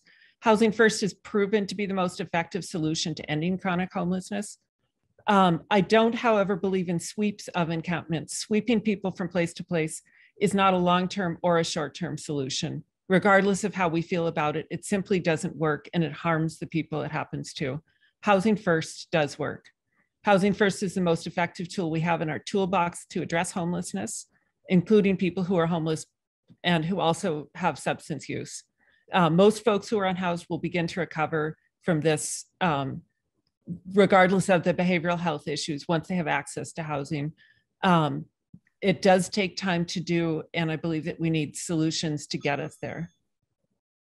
Thank you. Uh, Mark Dorsey, same question. Thank you so much. Uh, I think that uh, what I support is I support solutions that address specific homeless challenges. And I think that when we get into a habit of throwing around a buzzword of homelessness and, and throwing a solution towards it. But the problem is that uh, being homeless, um, you know, it, it's in a lot of different buckets. We need to identify, you know, exactly what is our homeless situation that we have, and then we need to go after and address each and every single challenge within there. So whether it's drug abuse, whether it's mental health, whether it's somebody that just lost their job, there's a lot of different ways that we need to help them in order to ensure that they succeed. Um, so I think it's really important to dive down into the details of why these specific groups are homeless to begin with, and then provide solutions for each of those demographics. Perfect. Thank you so much. Appreciate that. Uh, Jimmy Matta, same question for you. All right. Well, thank you very much for that question. Now, when we talk about homelessness, you know, we really got to talk about it in a humane way. And we have to make sure that we're bringing everybody to the table. We can talk about what we can do in the future, but let me talk to you about what we're doing here today in Burien. First of all, we knew that we had some gaps in our community. We don't have any housing for children and women in our community. And I want to thank, uh, you know, some of the leadership that we've had in the city. We have Mary's Place that provides housing for children, housing for single women, housing for families. Top of that, we have some housing for women who, for one way or another, need housing. We don't know what their story is, but we have housing for them. Now, let's just talk about BESC, you know, because that's something that's on everybody's mind. You know, people that haven't been there are being involved, because I've been involved, making sure we figure out what do we have in the community. Really don't understand that what we're providing is a life-saving measure. Sorry, That, thank you. Appreciate it. Uh, and Hugo uh, Garcia, please, same question. Thank you. Appreciate the question. Uh, as someone who's chaired both your the Burien Small Business Commission and the Planning Commission, I've worked on understanding the dynamics of homelessness and its impacts. And I know that to address it, we need to build homes. Our goal of 144 housing units a year has to be met and we have to supplement the, the building of homes and multifamily housing that we for years and decades had not looked to invest in with the services that are needed, both job creation services and programs so that people are able to address poverty, able to, we, we need to get to the root cause of homelessness, lack of opportunity, but at the same time, uh, the state over the last few decades has not invested as much on mental health. And we're seeing regionally our small cities having to now step up and do that. Do that with programs like the Law Enforcement Assisted Diversion, which is a program that the city has currently started. I want to make sure we expand on, on systems that provide mental health support job placement support and case management, not just one or two days a week, but evenings, nights, seven days a week. Uh, so it's all about uh, addressing it from a multifaceted place, building homes, addressing mental healthness, and no encampments. Perfect. Thank you so much. And again, uh, really appreciate all of the Burien City Council candidates uh, for being here. Thank you so much. Uh, we will begin to unpin you. Again, feel free to stay and, and watch the rest of the panels that we have. Again, just thank you so much for taking the time to be here with us and, and your service to the community. So thank you. Um, and we will start to welcome um, our Port of Seattle uh, candidates uh, now. And so we will be pinning uh, our Port of Seattle Commission uh, candidates and welcoming them. Just a reminder, uh, we will be going through um, a couple lightning round questions. You'll have two minutes to answer that and introduce yourself. Um, we'll then um, go into a local issue uh, question. So we will launch that poll um, to see what local issue matters most uh, to the people that are here tonight. Um, so while staff are launching that local issue poll, uh, we will go ahead and get right into introductions uh, and uh, light uh, introductions and the icebreaker question. And we are going to start first uh, with Norman Sigler. And uh, your question is what book do you love and would recommend that others read? You, oh, okay, nice. Uh, what book do I love? Let's see. Hmm.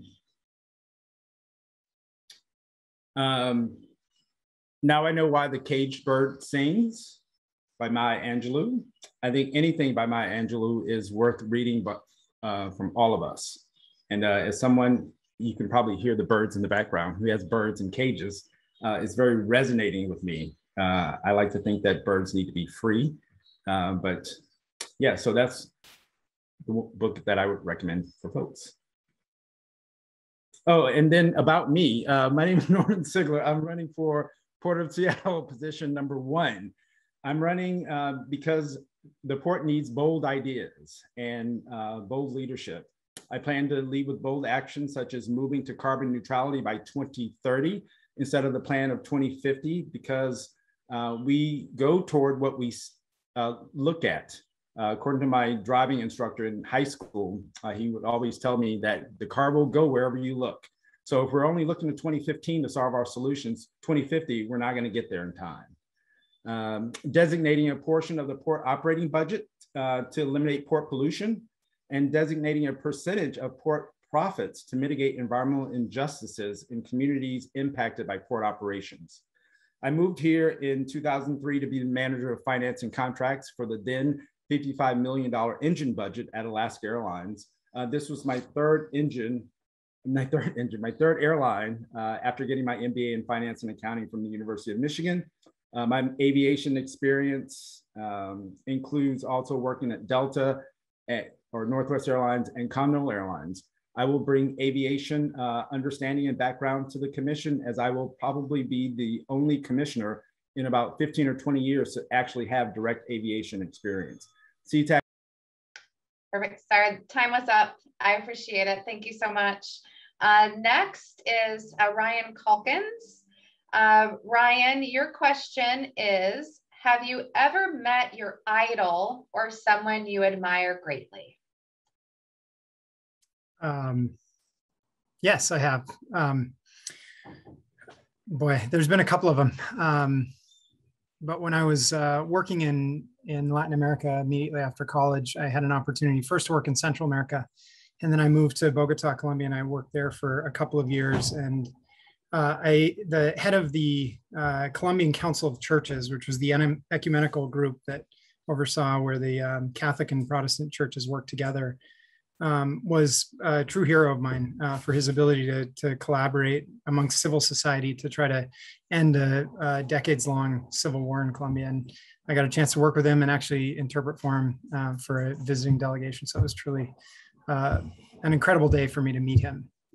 Um, about me, uh, I I grew up here in in the Seattle area. I grew up in Edmonds. My mom is a public school teacher. She continues to substitute occasionally. My dad was a small business owner for my entire life. Uh, starting um, a business in uh, the Georgetown neighborhood of Seattle uh, when I was in college after he had uh, run an earlier business for 20 years that my grandfather had started. They uh, were both import and distribution companies that focused on stone and ceramic tile. And that's actually how I got to know the Seaport. I worked for my dad. Uh, at eight years old, I was gluing samples to sample boards. And then uh, as a uh, college student, I worked in the warehouse and then came back after I had spent time in Latin America and gone to graduate school to uh, take over the company. And I led the company for 10 years through 2016, and at which point we sold it after getting through the, the Great Recession. And I decided I wanted to get into politics because I had seen that side of things on the Port of Seattle and felt like I could make a difference from uh, the standpoint of a company that had sought out sustainability in its practices and felt like we could bring it to a public agency as well. And so I'm really looking forward to another four years if the voters will will grant that to me. Fantastic. Thank you so much.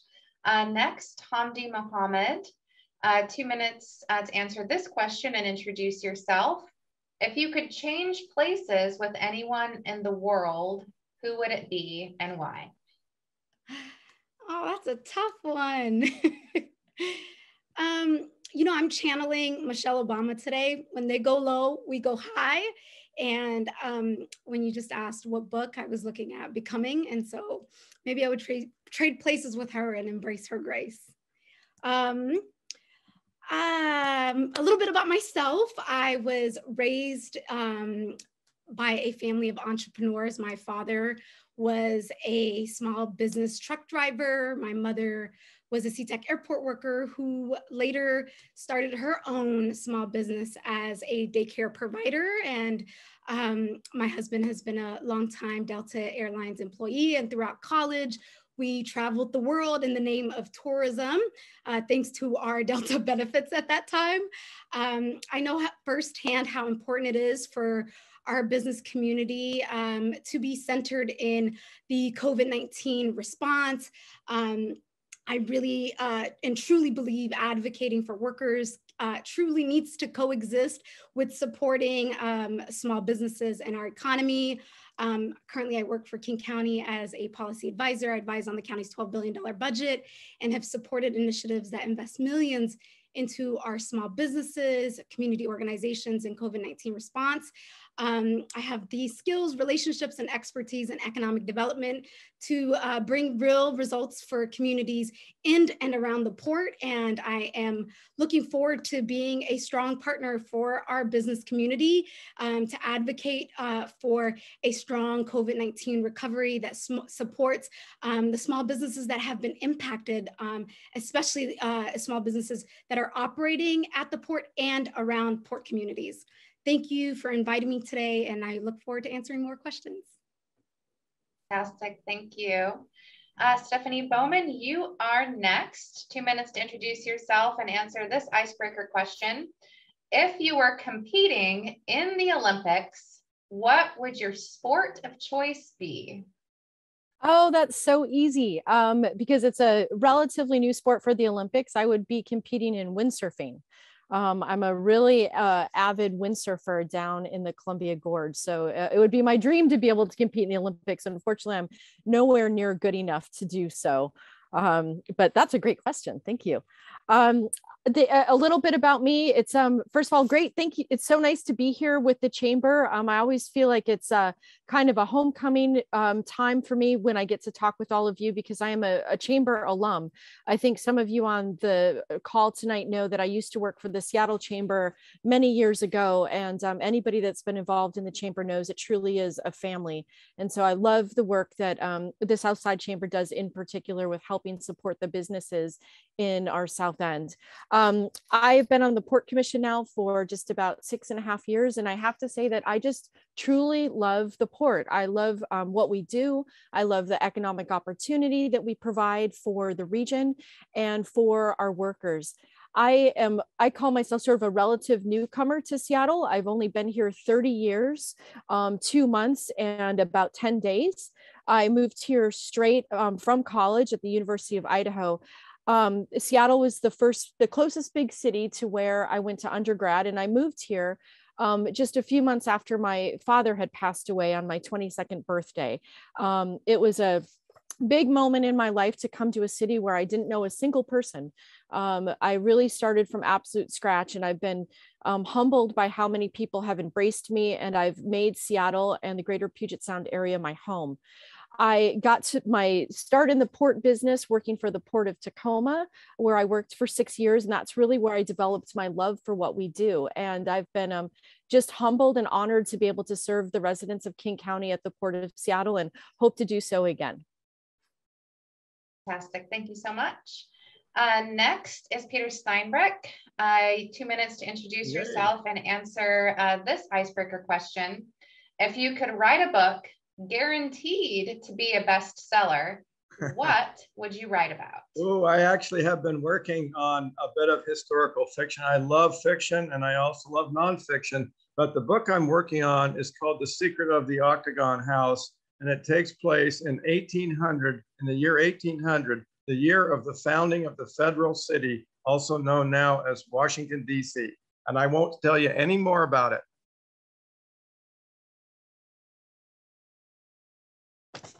You still have a minute and 30 seconds. Oh, I'm sorry. That was the icebreaker. Oh, well, I did have more I wanted to tell you about. I'm an architect. I'm running for reelection. I'm a business consultant for over since I was 18. I've been in small business. And I'm running for the port because I support its core mission to promote economic opportunity, jobs, quality jobs, and support environmental sustainability and, is, and do this with an equitable recovery strategy as we uh, fathom the crisis of COVID. As port commissioner, I've worked so hard to create thousands of family wage jobs, dock workers, construction jobs, and more. And I also created a $10 million South King County Community Impact Fund that has funded thousands, excuse me, not thousands, dozens already of important community projects around um, environmental resources and sustainability. And uh, economic um, development project. So I'm very proud of that. Uh, it's working well, and we're talking about extending it for another five years. So during these challenging times, what we need is strong, experienced leadership that I've been providing at the port that delivers. I have a history of civic activism engagement starting with the lessons I learned from my father's activist efforts to save the Pike Place market in 1971, 50 years ago this year, we're celebrating the initiative's overwhelming success. Perfect. Thank you. That was time. I appreciate it uh, so much. Uh, and next, uh, Toshiko Hasegawa, uh, it is your turn to have two minutes uh, and answer this icebreaker question. Mm. What is the last best TV show that you watched? The last best, so the, not the last bad one. right. Um, TV show, not a movie. Um, I will admit that I actually went down the Downton Abbey rabbit hole. That is just it's like political drama in a certain way um, and it was actually really well done um, and i really enjoyed it um, until about halfway of, of season two um, so good evening, everybody. Thank you so much, Director Reay and everybody at the Chamber for hosting this space for all of us to be able to come together. My name is Toshiko Hasegawa. I'm a fourth generation Japanese American whose American story begins with my great grandfather who immigrated through the port of Seattle in search of economic opportunity. We have always lived on Beacon Hill, including on the flight path, um, except for for six years in my 20s, I lived in the city of Burien on uh, 142nd and 6th Avenue Southwest. If I had to shout out my favorite Burien small business, it had to be Rinconcito. You already know. Um, but, uh, you know, I am so proud to run for the Port of Seattle because I have seen firsthand the impact the port has on the livability of our communities. I've seen firsthand the potential that it can have in families like mine being able to break into the middle class. Um, and I'm running because Um, you know, as the director of a state agency, I saw how when COVID hit, businesses and families were hit hardest. And I do believe that there were missed opportunities at the port in order to meaningfully support, in particular, airport concessionaires and disadvantaged business enterprises, CARES Act funds that could have and should have gone to support small businesses, um, making sure that um, we're reducing barriers for contract opportunities. So I'm running to make sure the recovery lifts all ships. Um, and I look forward to a robust conversation. Fantastic, thank you. Um, now we're gonna go into our lightning round. So again, uh, feel free to use whatever reactions you want to indicate your support or opposition uh, to the following questions. Uh, first question, do you believe the port is doing enough to support DBEs and minority contractors? Thank you. Uh, next question, do you believe SeaTac Airport generates economic benefit for South King County communities? Next question, do you believe SeaTac Airport should continue to grow to meet future demand?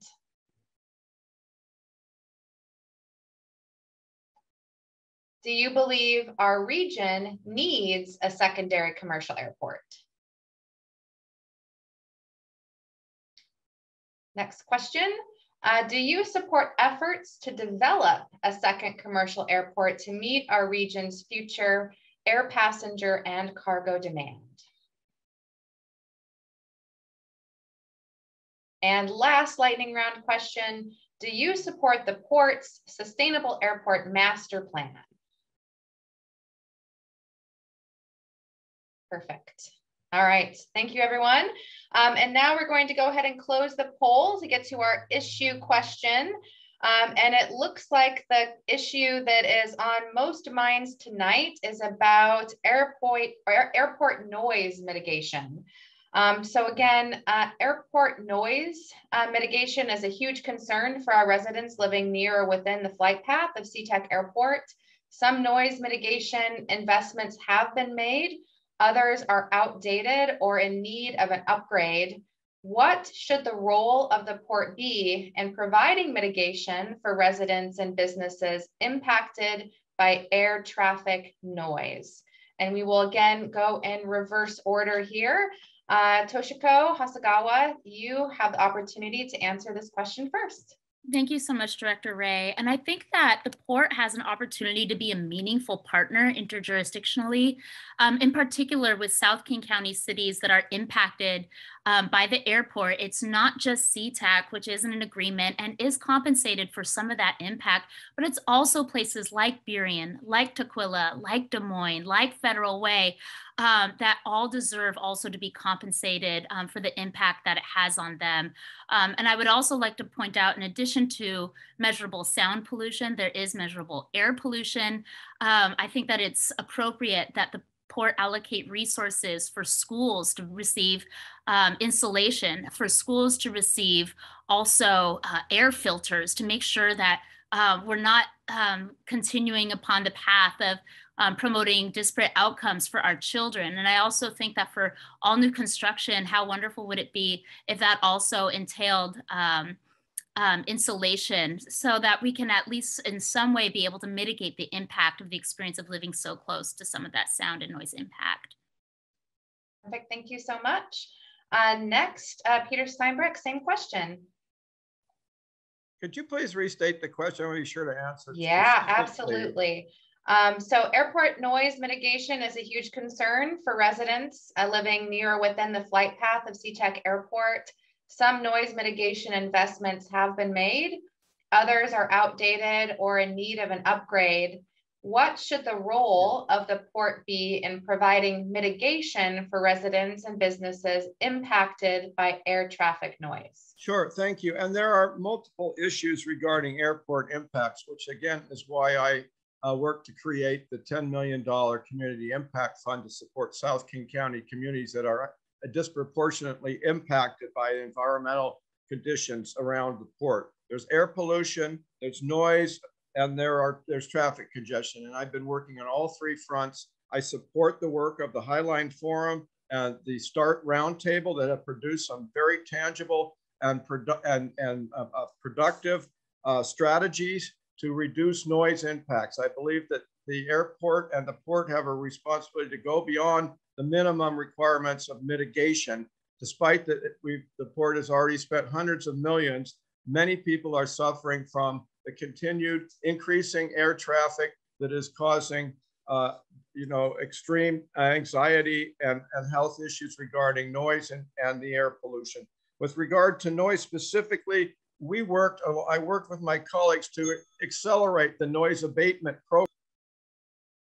Sorry, Peter, that time is up. Uh, we've got one, I know it's one minute to answer a very complicated question. I appreciate uh, everyone's uh, patience. Um, Stephanie Bowman, uh, one minute to answer that same question. Yeah, absolutely. That's a great question. Um, so let me just start with saying I believe that the port over the years has not done anywhere near enough for noise mitigation. When I started on the commission, um, this over the many years, the idea was that the port would apply to the FAA for funds and then do noise mitigation once those funds are received.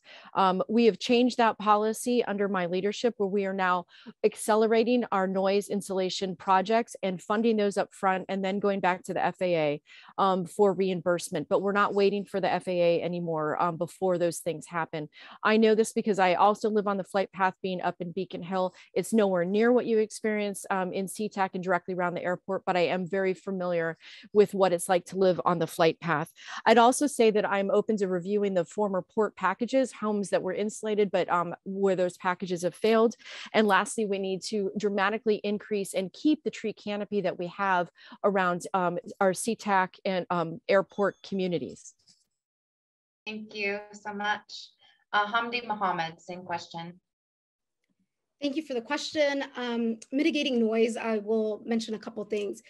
I, it's important for us to develop alternative uh, noise metrics that do not rely on just the FAA computer models that track the sensitivity to noise events.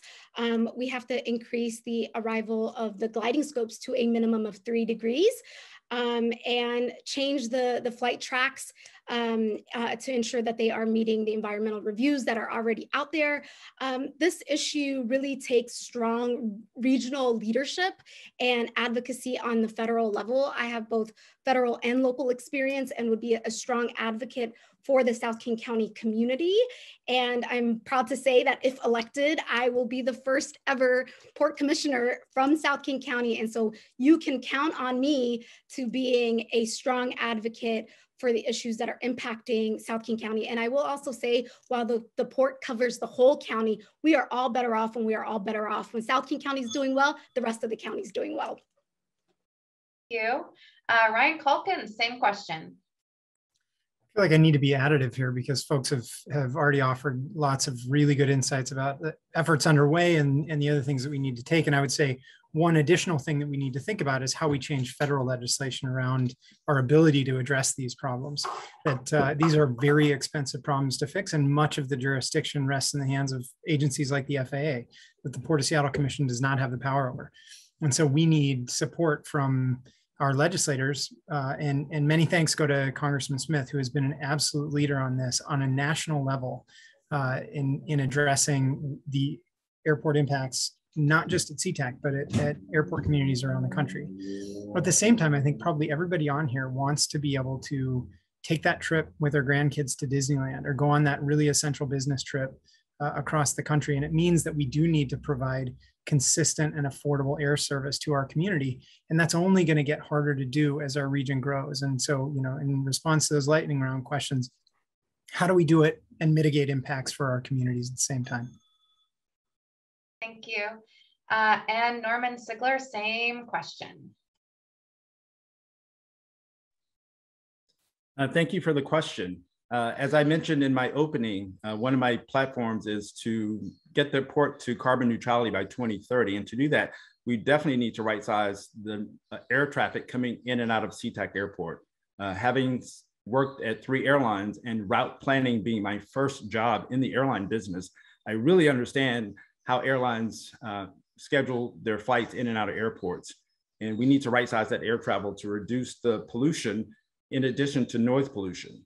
Um, King County residents give the port annually about $76 million of our uh, tax dollars on a $680 million operating budget.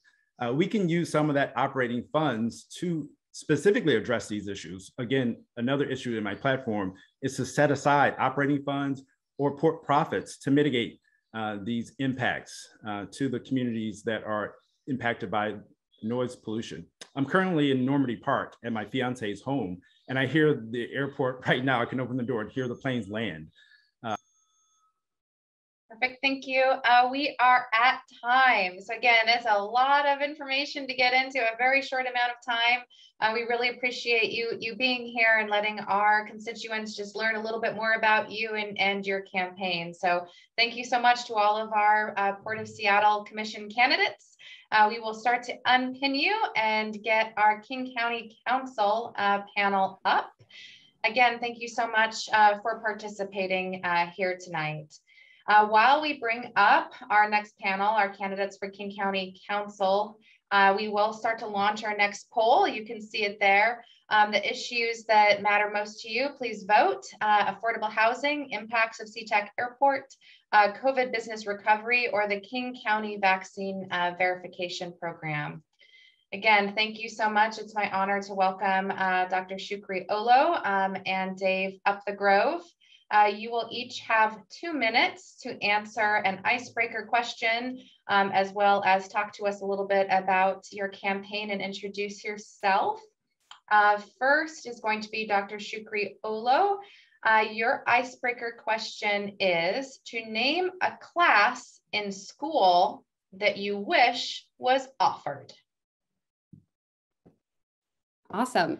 Well, first of all, thank you all so much for the opportunity to share more about my candidacy. Uh, and to the Chamber, thank you so much for organizing this as well. As an organizer, I know just how much work it takes to plan something like this, especially virtually. So, Andrea and team, you are killing it. Um, I would probably want to offer a course on critical race theory.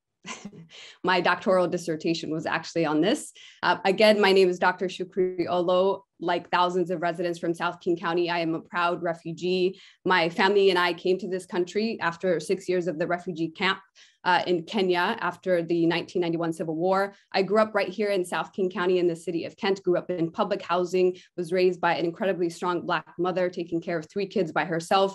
I'm also a mother, a community organizer, a doctoral scholar, and a candidate for King County Council District 5. And because I'm an organizer, our campaign co-designed the platforms with over 700 people, including small business owners. My mother is a small business owner and educators and young people. And we have created and co co-designed a platform on four key areas, including bending the legal system toward justice, investing in public health and human services, afford- building more affordable housing and supporting small business. And I'm honored that this message has resonated with countless small business owners, uh, with uh, King County Democrats, a sole endorsement from the SEIU 775-925 and countless community members who believe in the vision that we're creating for this district. And I would be honored to have your support and all the folks watching tonight uh, to make history as the first Black woman elected to King County Council in our state's history. Thank you so much for the opportunity to share more and looking forward to a robust conversation tonight. Perfect, thank you so much. Uh, next, uh, Dave Upthegrove, you have two minutes to introduce yourself and answer this icebreaker question. Please tell us about a movie that you think everyone should watch. A movie everyone should watch. Oh boy. Uh, I'm just going to go with the most recent one I've seen, which was uh, Respect, uh, about the story of Aretha Franklin and uh, a powerful movie about about race, about power, about addiction, and uh, plus some really good music. Um, you know, I think I want to begin by pointing out that the very first COVID death in the nation was right here in King County. And county public health departments are the front line of defense. And by following the science and supporting our public health professionals, I'm proud that King County has the lowest COVID rate of any major urban county in the continental United States. But those of us in South King County know that it has really shined a light on the disparities based on race and income. And that's why I've worked so closely with the community to target resources to our diverse low income communities in South King County. And as we come out of this pandemic, and we will come out of it, we're facing huge challenges. We need to uh, help homeless individuals get off the street and into housing with support. You know, we need to do a better job addressing public safety. I hear that at the doors every day.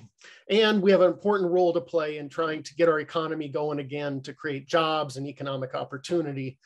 And one thing I know the solutions to homelessness, public safety, and the economy aren't going to come out of Seattle. They're going to come from those of us here in South King County working together to solve problems. I love this community. I grew up here attending Gregory Heights Elementary and Sunday school at Lake Burien Presbyterian. I've loved watching it grow and change. Our diversity is our strength. And I believe all people, regardless of our differences, have value, have something to contribute, and deserve equal rights and fair treatment. Those are my core values. Fantastic. Thank you so much. Uh, we will now go into our lightning round. Again, feel free to use whatever reactions you want, Facebook buttons, thumbs up, thumbs down, yes, no, whatever you want, whatever you're comfortable with. Uh, first question, are county land use regulations and permitting processes doing enough to assure the public interest? Again, are county land use regulations and permitting doing enough? Thank you. Are county investments in unincorporated areas enough to meet the needs of the community? Have infrastructure and transportation improvements received the priority they should in current budgets? Do you support funding for CTE and career pathway programs to help address our education and workforce needs? Do you think it's important to include broad public outreach and engagement when making policy decisions? And do you or will you include the business community as part of outreach and public engagement when considering policy? Fantastic. Thank you so much. Um, and our issue that is top of mind for people um, is affordable housing and homelessness uh, programs. And so the question uh, for that is, uh, what would you do differently, if anything, to address the affordable housing crisis, including homelessness, than what has already been done? Again, what would you do differently if anything, to address the affordable housing crisis and homelessness than what has been done recently. You have one minute, and again, we will go in reverse order. Uh, Dave, since you went last, uh, you will now go first. Thank you. You know, I believe housing is a human right, and we have a moral responsibility to help get people off the street and into housing with support. You know, it uh, saves lives. It's the right thing to do. It also saves taxpayer money, hospital costs. Um, we need to implement the bold steps we've taken. We've invested $350 million to purchase uh, existing housing and hotels and long-term care facilities in cities that are willing. What we need to do is work in partnership with our cities and our communities to um, site these uh, facilities. And then I also believe we need to work on converting them into permanent supported housing, um, not just emergency housing. Uh, we need to increase our investments in workforce housing. We need to change our land use laws to allow for more density to incentivize that growth. At the end of the day, this really is a moral question. The American dream is to have a roof over your head and have a home. Thank you so much. Uh, Dr. Shukri Olow, your question next. Thank you so much for the question. You know, I often hear that in politics, it's not personal, and it is personal because housing uh, is a personal challenge and a priority for our campaign. And I want to start with the personal and say that when we talk about affordable housing as a human right, I get it because I've lived it. I grew up six years of my life displaced in a refugee camp. I grew up right here in South King County in the city of Kent on a Section 8 voucher. And that was the safety net that my family and I needed to be lifted out of poverty so that I could focus on my education. On the campaign front, we believe that we need deepened tenant protections and rental assistance. Our campaign believes that we need a housing first approach and not just temporary housing, but a pathway to housing, including permanent supportive housing. And finally, we need a pathway to home ownership. I've been in deep and intentional conversations with housing providers in our community and committed to having an environment where people could go from renting to owning right here in District 5. Fantastic. Uh, thank you both so much for making the time to be here with us tonight to talk to us a little bit about your vision uh, for King County and uh, for connecting with the Southside community. Uh, appreciate you making the time. Feel free to stay as we welcome in our next panel, uh, which is the King County Executive Panel. And as our team is bringing up uh, that King County Executive Panel, we will go ahead and also launch our next poll um, so that you can help choose uh, what local issue uh, matters most to you. Um, thank you again uh, so much uh, for being here uh, and thank you and welcome uh, Dow Constantine and Senator Joe Nguyen to the program. Again, we will have two minutes for you to introduce yourself to answer an icebreaker question and talk to us a little bit about your campaign. We'll go, go into lightning round questions and then we'll answer that issue question. So again, thank you so much for being here this evening. Uh, the first question will go to Dow Constantine. Uh, Mr. Constantine, what was the last time you did something for the first time? Oh, wow, that's a really interesting question. Uh, you know, the first thing I always think about uh, is uh, my kid. I, I get to have a lot of firsts having a first child.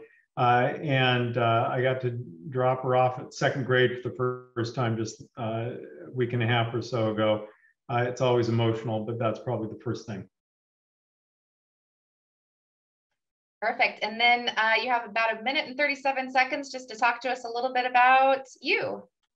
Well, uh, thanks for having me. Uh, I'm Dow Constantine, King County Executive. Uh, we are uh, really leading the nation in so many areas, and I'm so proud of the folks that I've brought together in my administration. Uh, first and foremost, in this period of crisis, COVID, we've established a nation leading record on COVID, taking bold and science centered action to reduce infections and deaths in our community. And you saw last week we stepped forward again uh, with the vaccine mandate to keep people safe, keep our hospitals from being overwhelmed, keep businesses and schools open. Uh, it is not universally popular, but it's the right thing to do. And that has been a consistent theme of my term in office.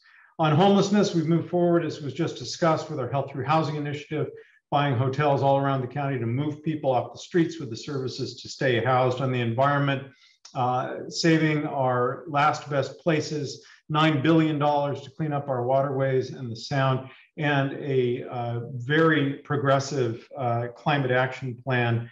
Uh, and on mobility, today I got to go to the light rail station, in the University District that will open on Saturday, a week from now. Uh, we're so proud of the investments that we're making in creating true mobility in our region. I'm really pleased to be endorsed not just by many progressive organizations, uh, but by people across the county, including the Eastside Business Alliance, Seattle King County Realtors, and the Rental Housing Association. They know I'm a straight shooter who gets the job done. Thank you so much. Uh, Joe Nguyen, it's now your opportunity to tell us uh, two minutes, a little bit about yourself and answer this icebreaker question, which is, when you were six years old, what did you want to be when you grew up?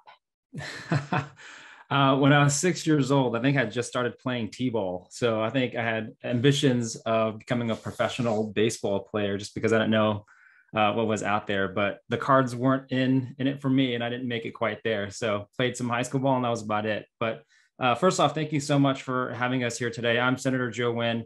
Uh, I'm the son of refugees born in White Center and raised in Burien, so South King County. My family owned a small billiards hall in White Center when I was younger, uh, and then a restaurant uh, when I got a little bit older. And then my sister actually has a small engineering engineering firm now as well. So I do believe that small business is the backbone of our economy. Also, it's it's bedtime routine. So you hear kids yelling in the background. It's about that time of the night uh, for all you parents out there.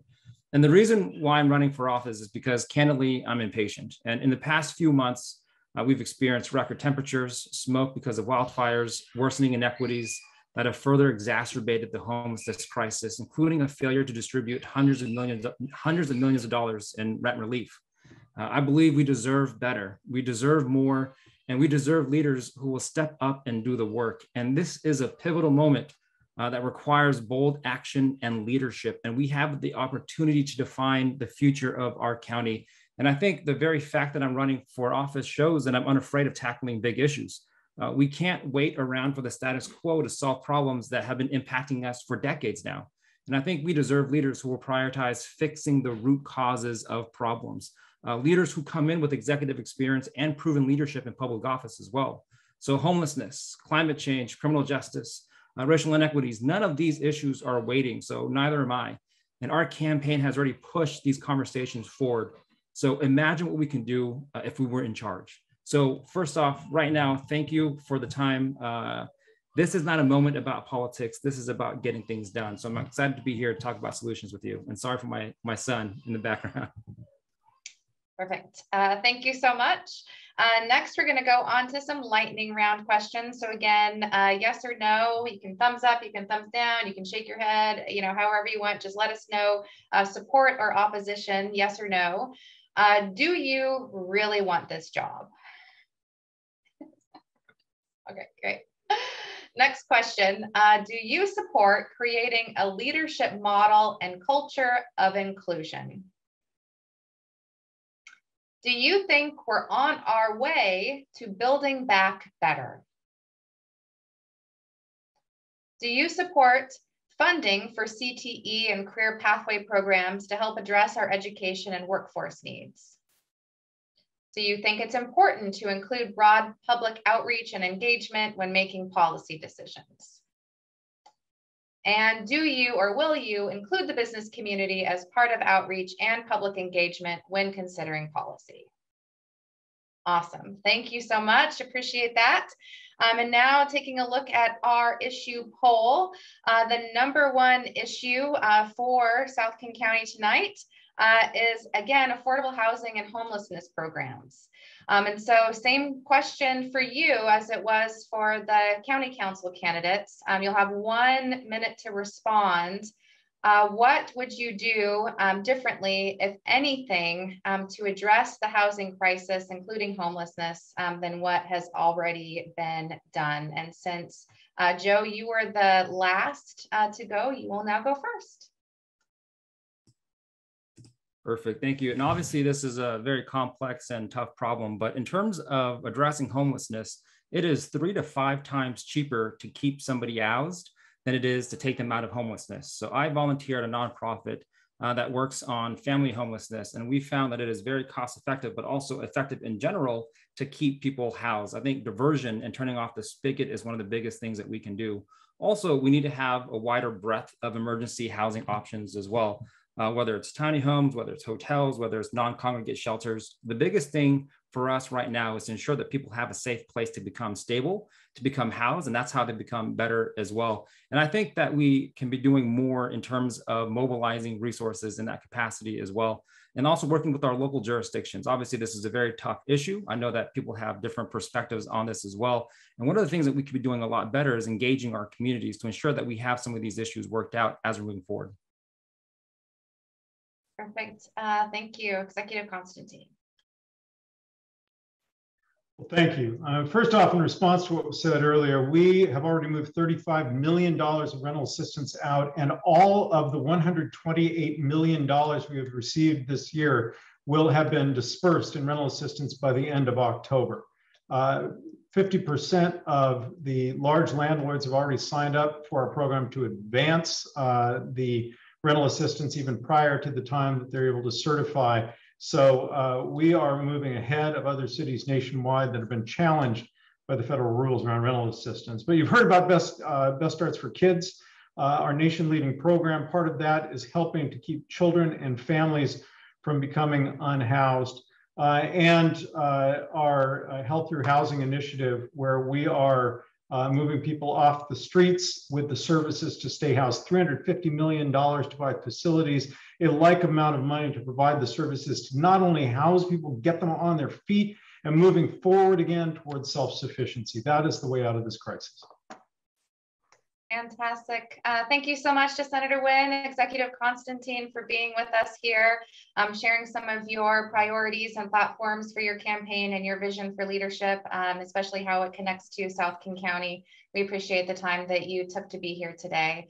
Um, and of course, uh, thank you to everyone who came, uh, who participated, who engaged, all of our public officials, all of our candidates. Um, and you, our community members, uh, we are so grateful uh, for the time that you took to be with us here today. Um, thank you to Amazon, thank you to Boeing, thank you to Baker Commodities, uh, Scott and Teresa Schaefer and South King Media. Um, we are recording this um, so that those who could not join live will still be able to watch the program later at their convenience. Um, again, thank you so much uh, to all of our elected officials and all of our candidates. Um, we really, really appreciate the time that you um, took to be here and of course, all of our, our partners. Um, it is as important as ever to come together as a community and learn how we can do our part um, and support our local businesses, keep our economy strong and thriving, um, and participating in local elections is one of the most important things uh, that we can do. Um, thank you also for your support to continue to support us. Uh, you can donate directly to support our work. Uh, you can do that at bit.ly slash SSCC support. Uh, or check out our website for more information. Uh, even a small donation helps us to continue to serve our community. And we are so grateful and deeply appreciate any and all contributions. Uh, please don't forget to check out our calendar for more upcoming events.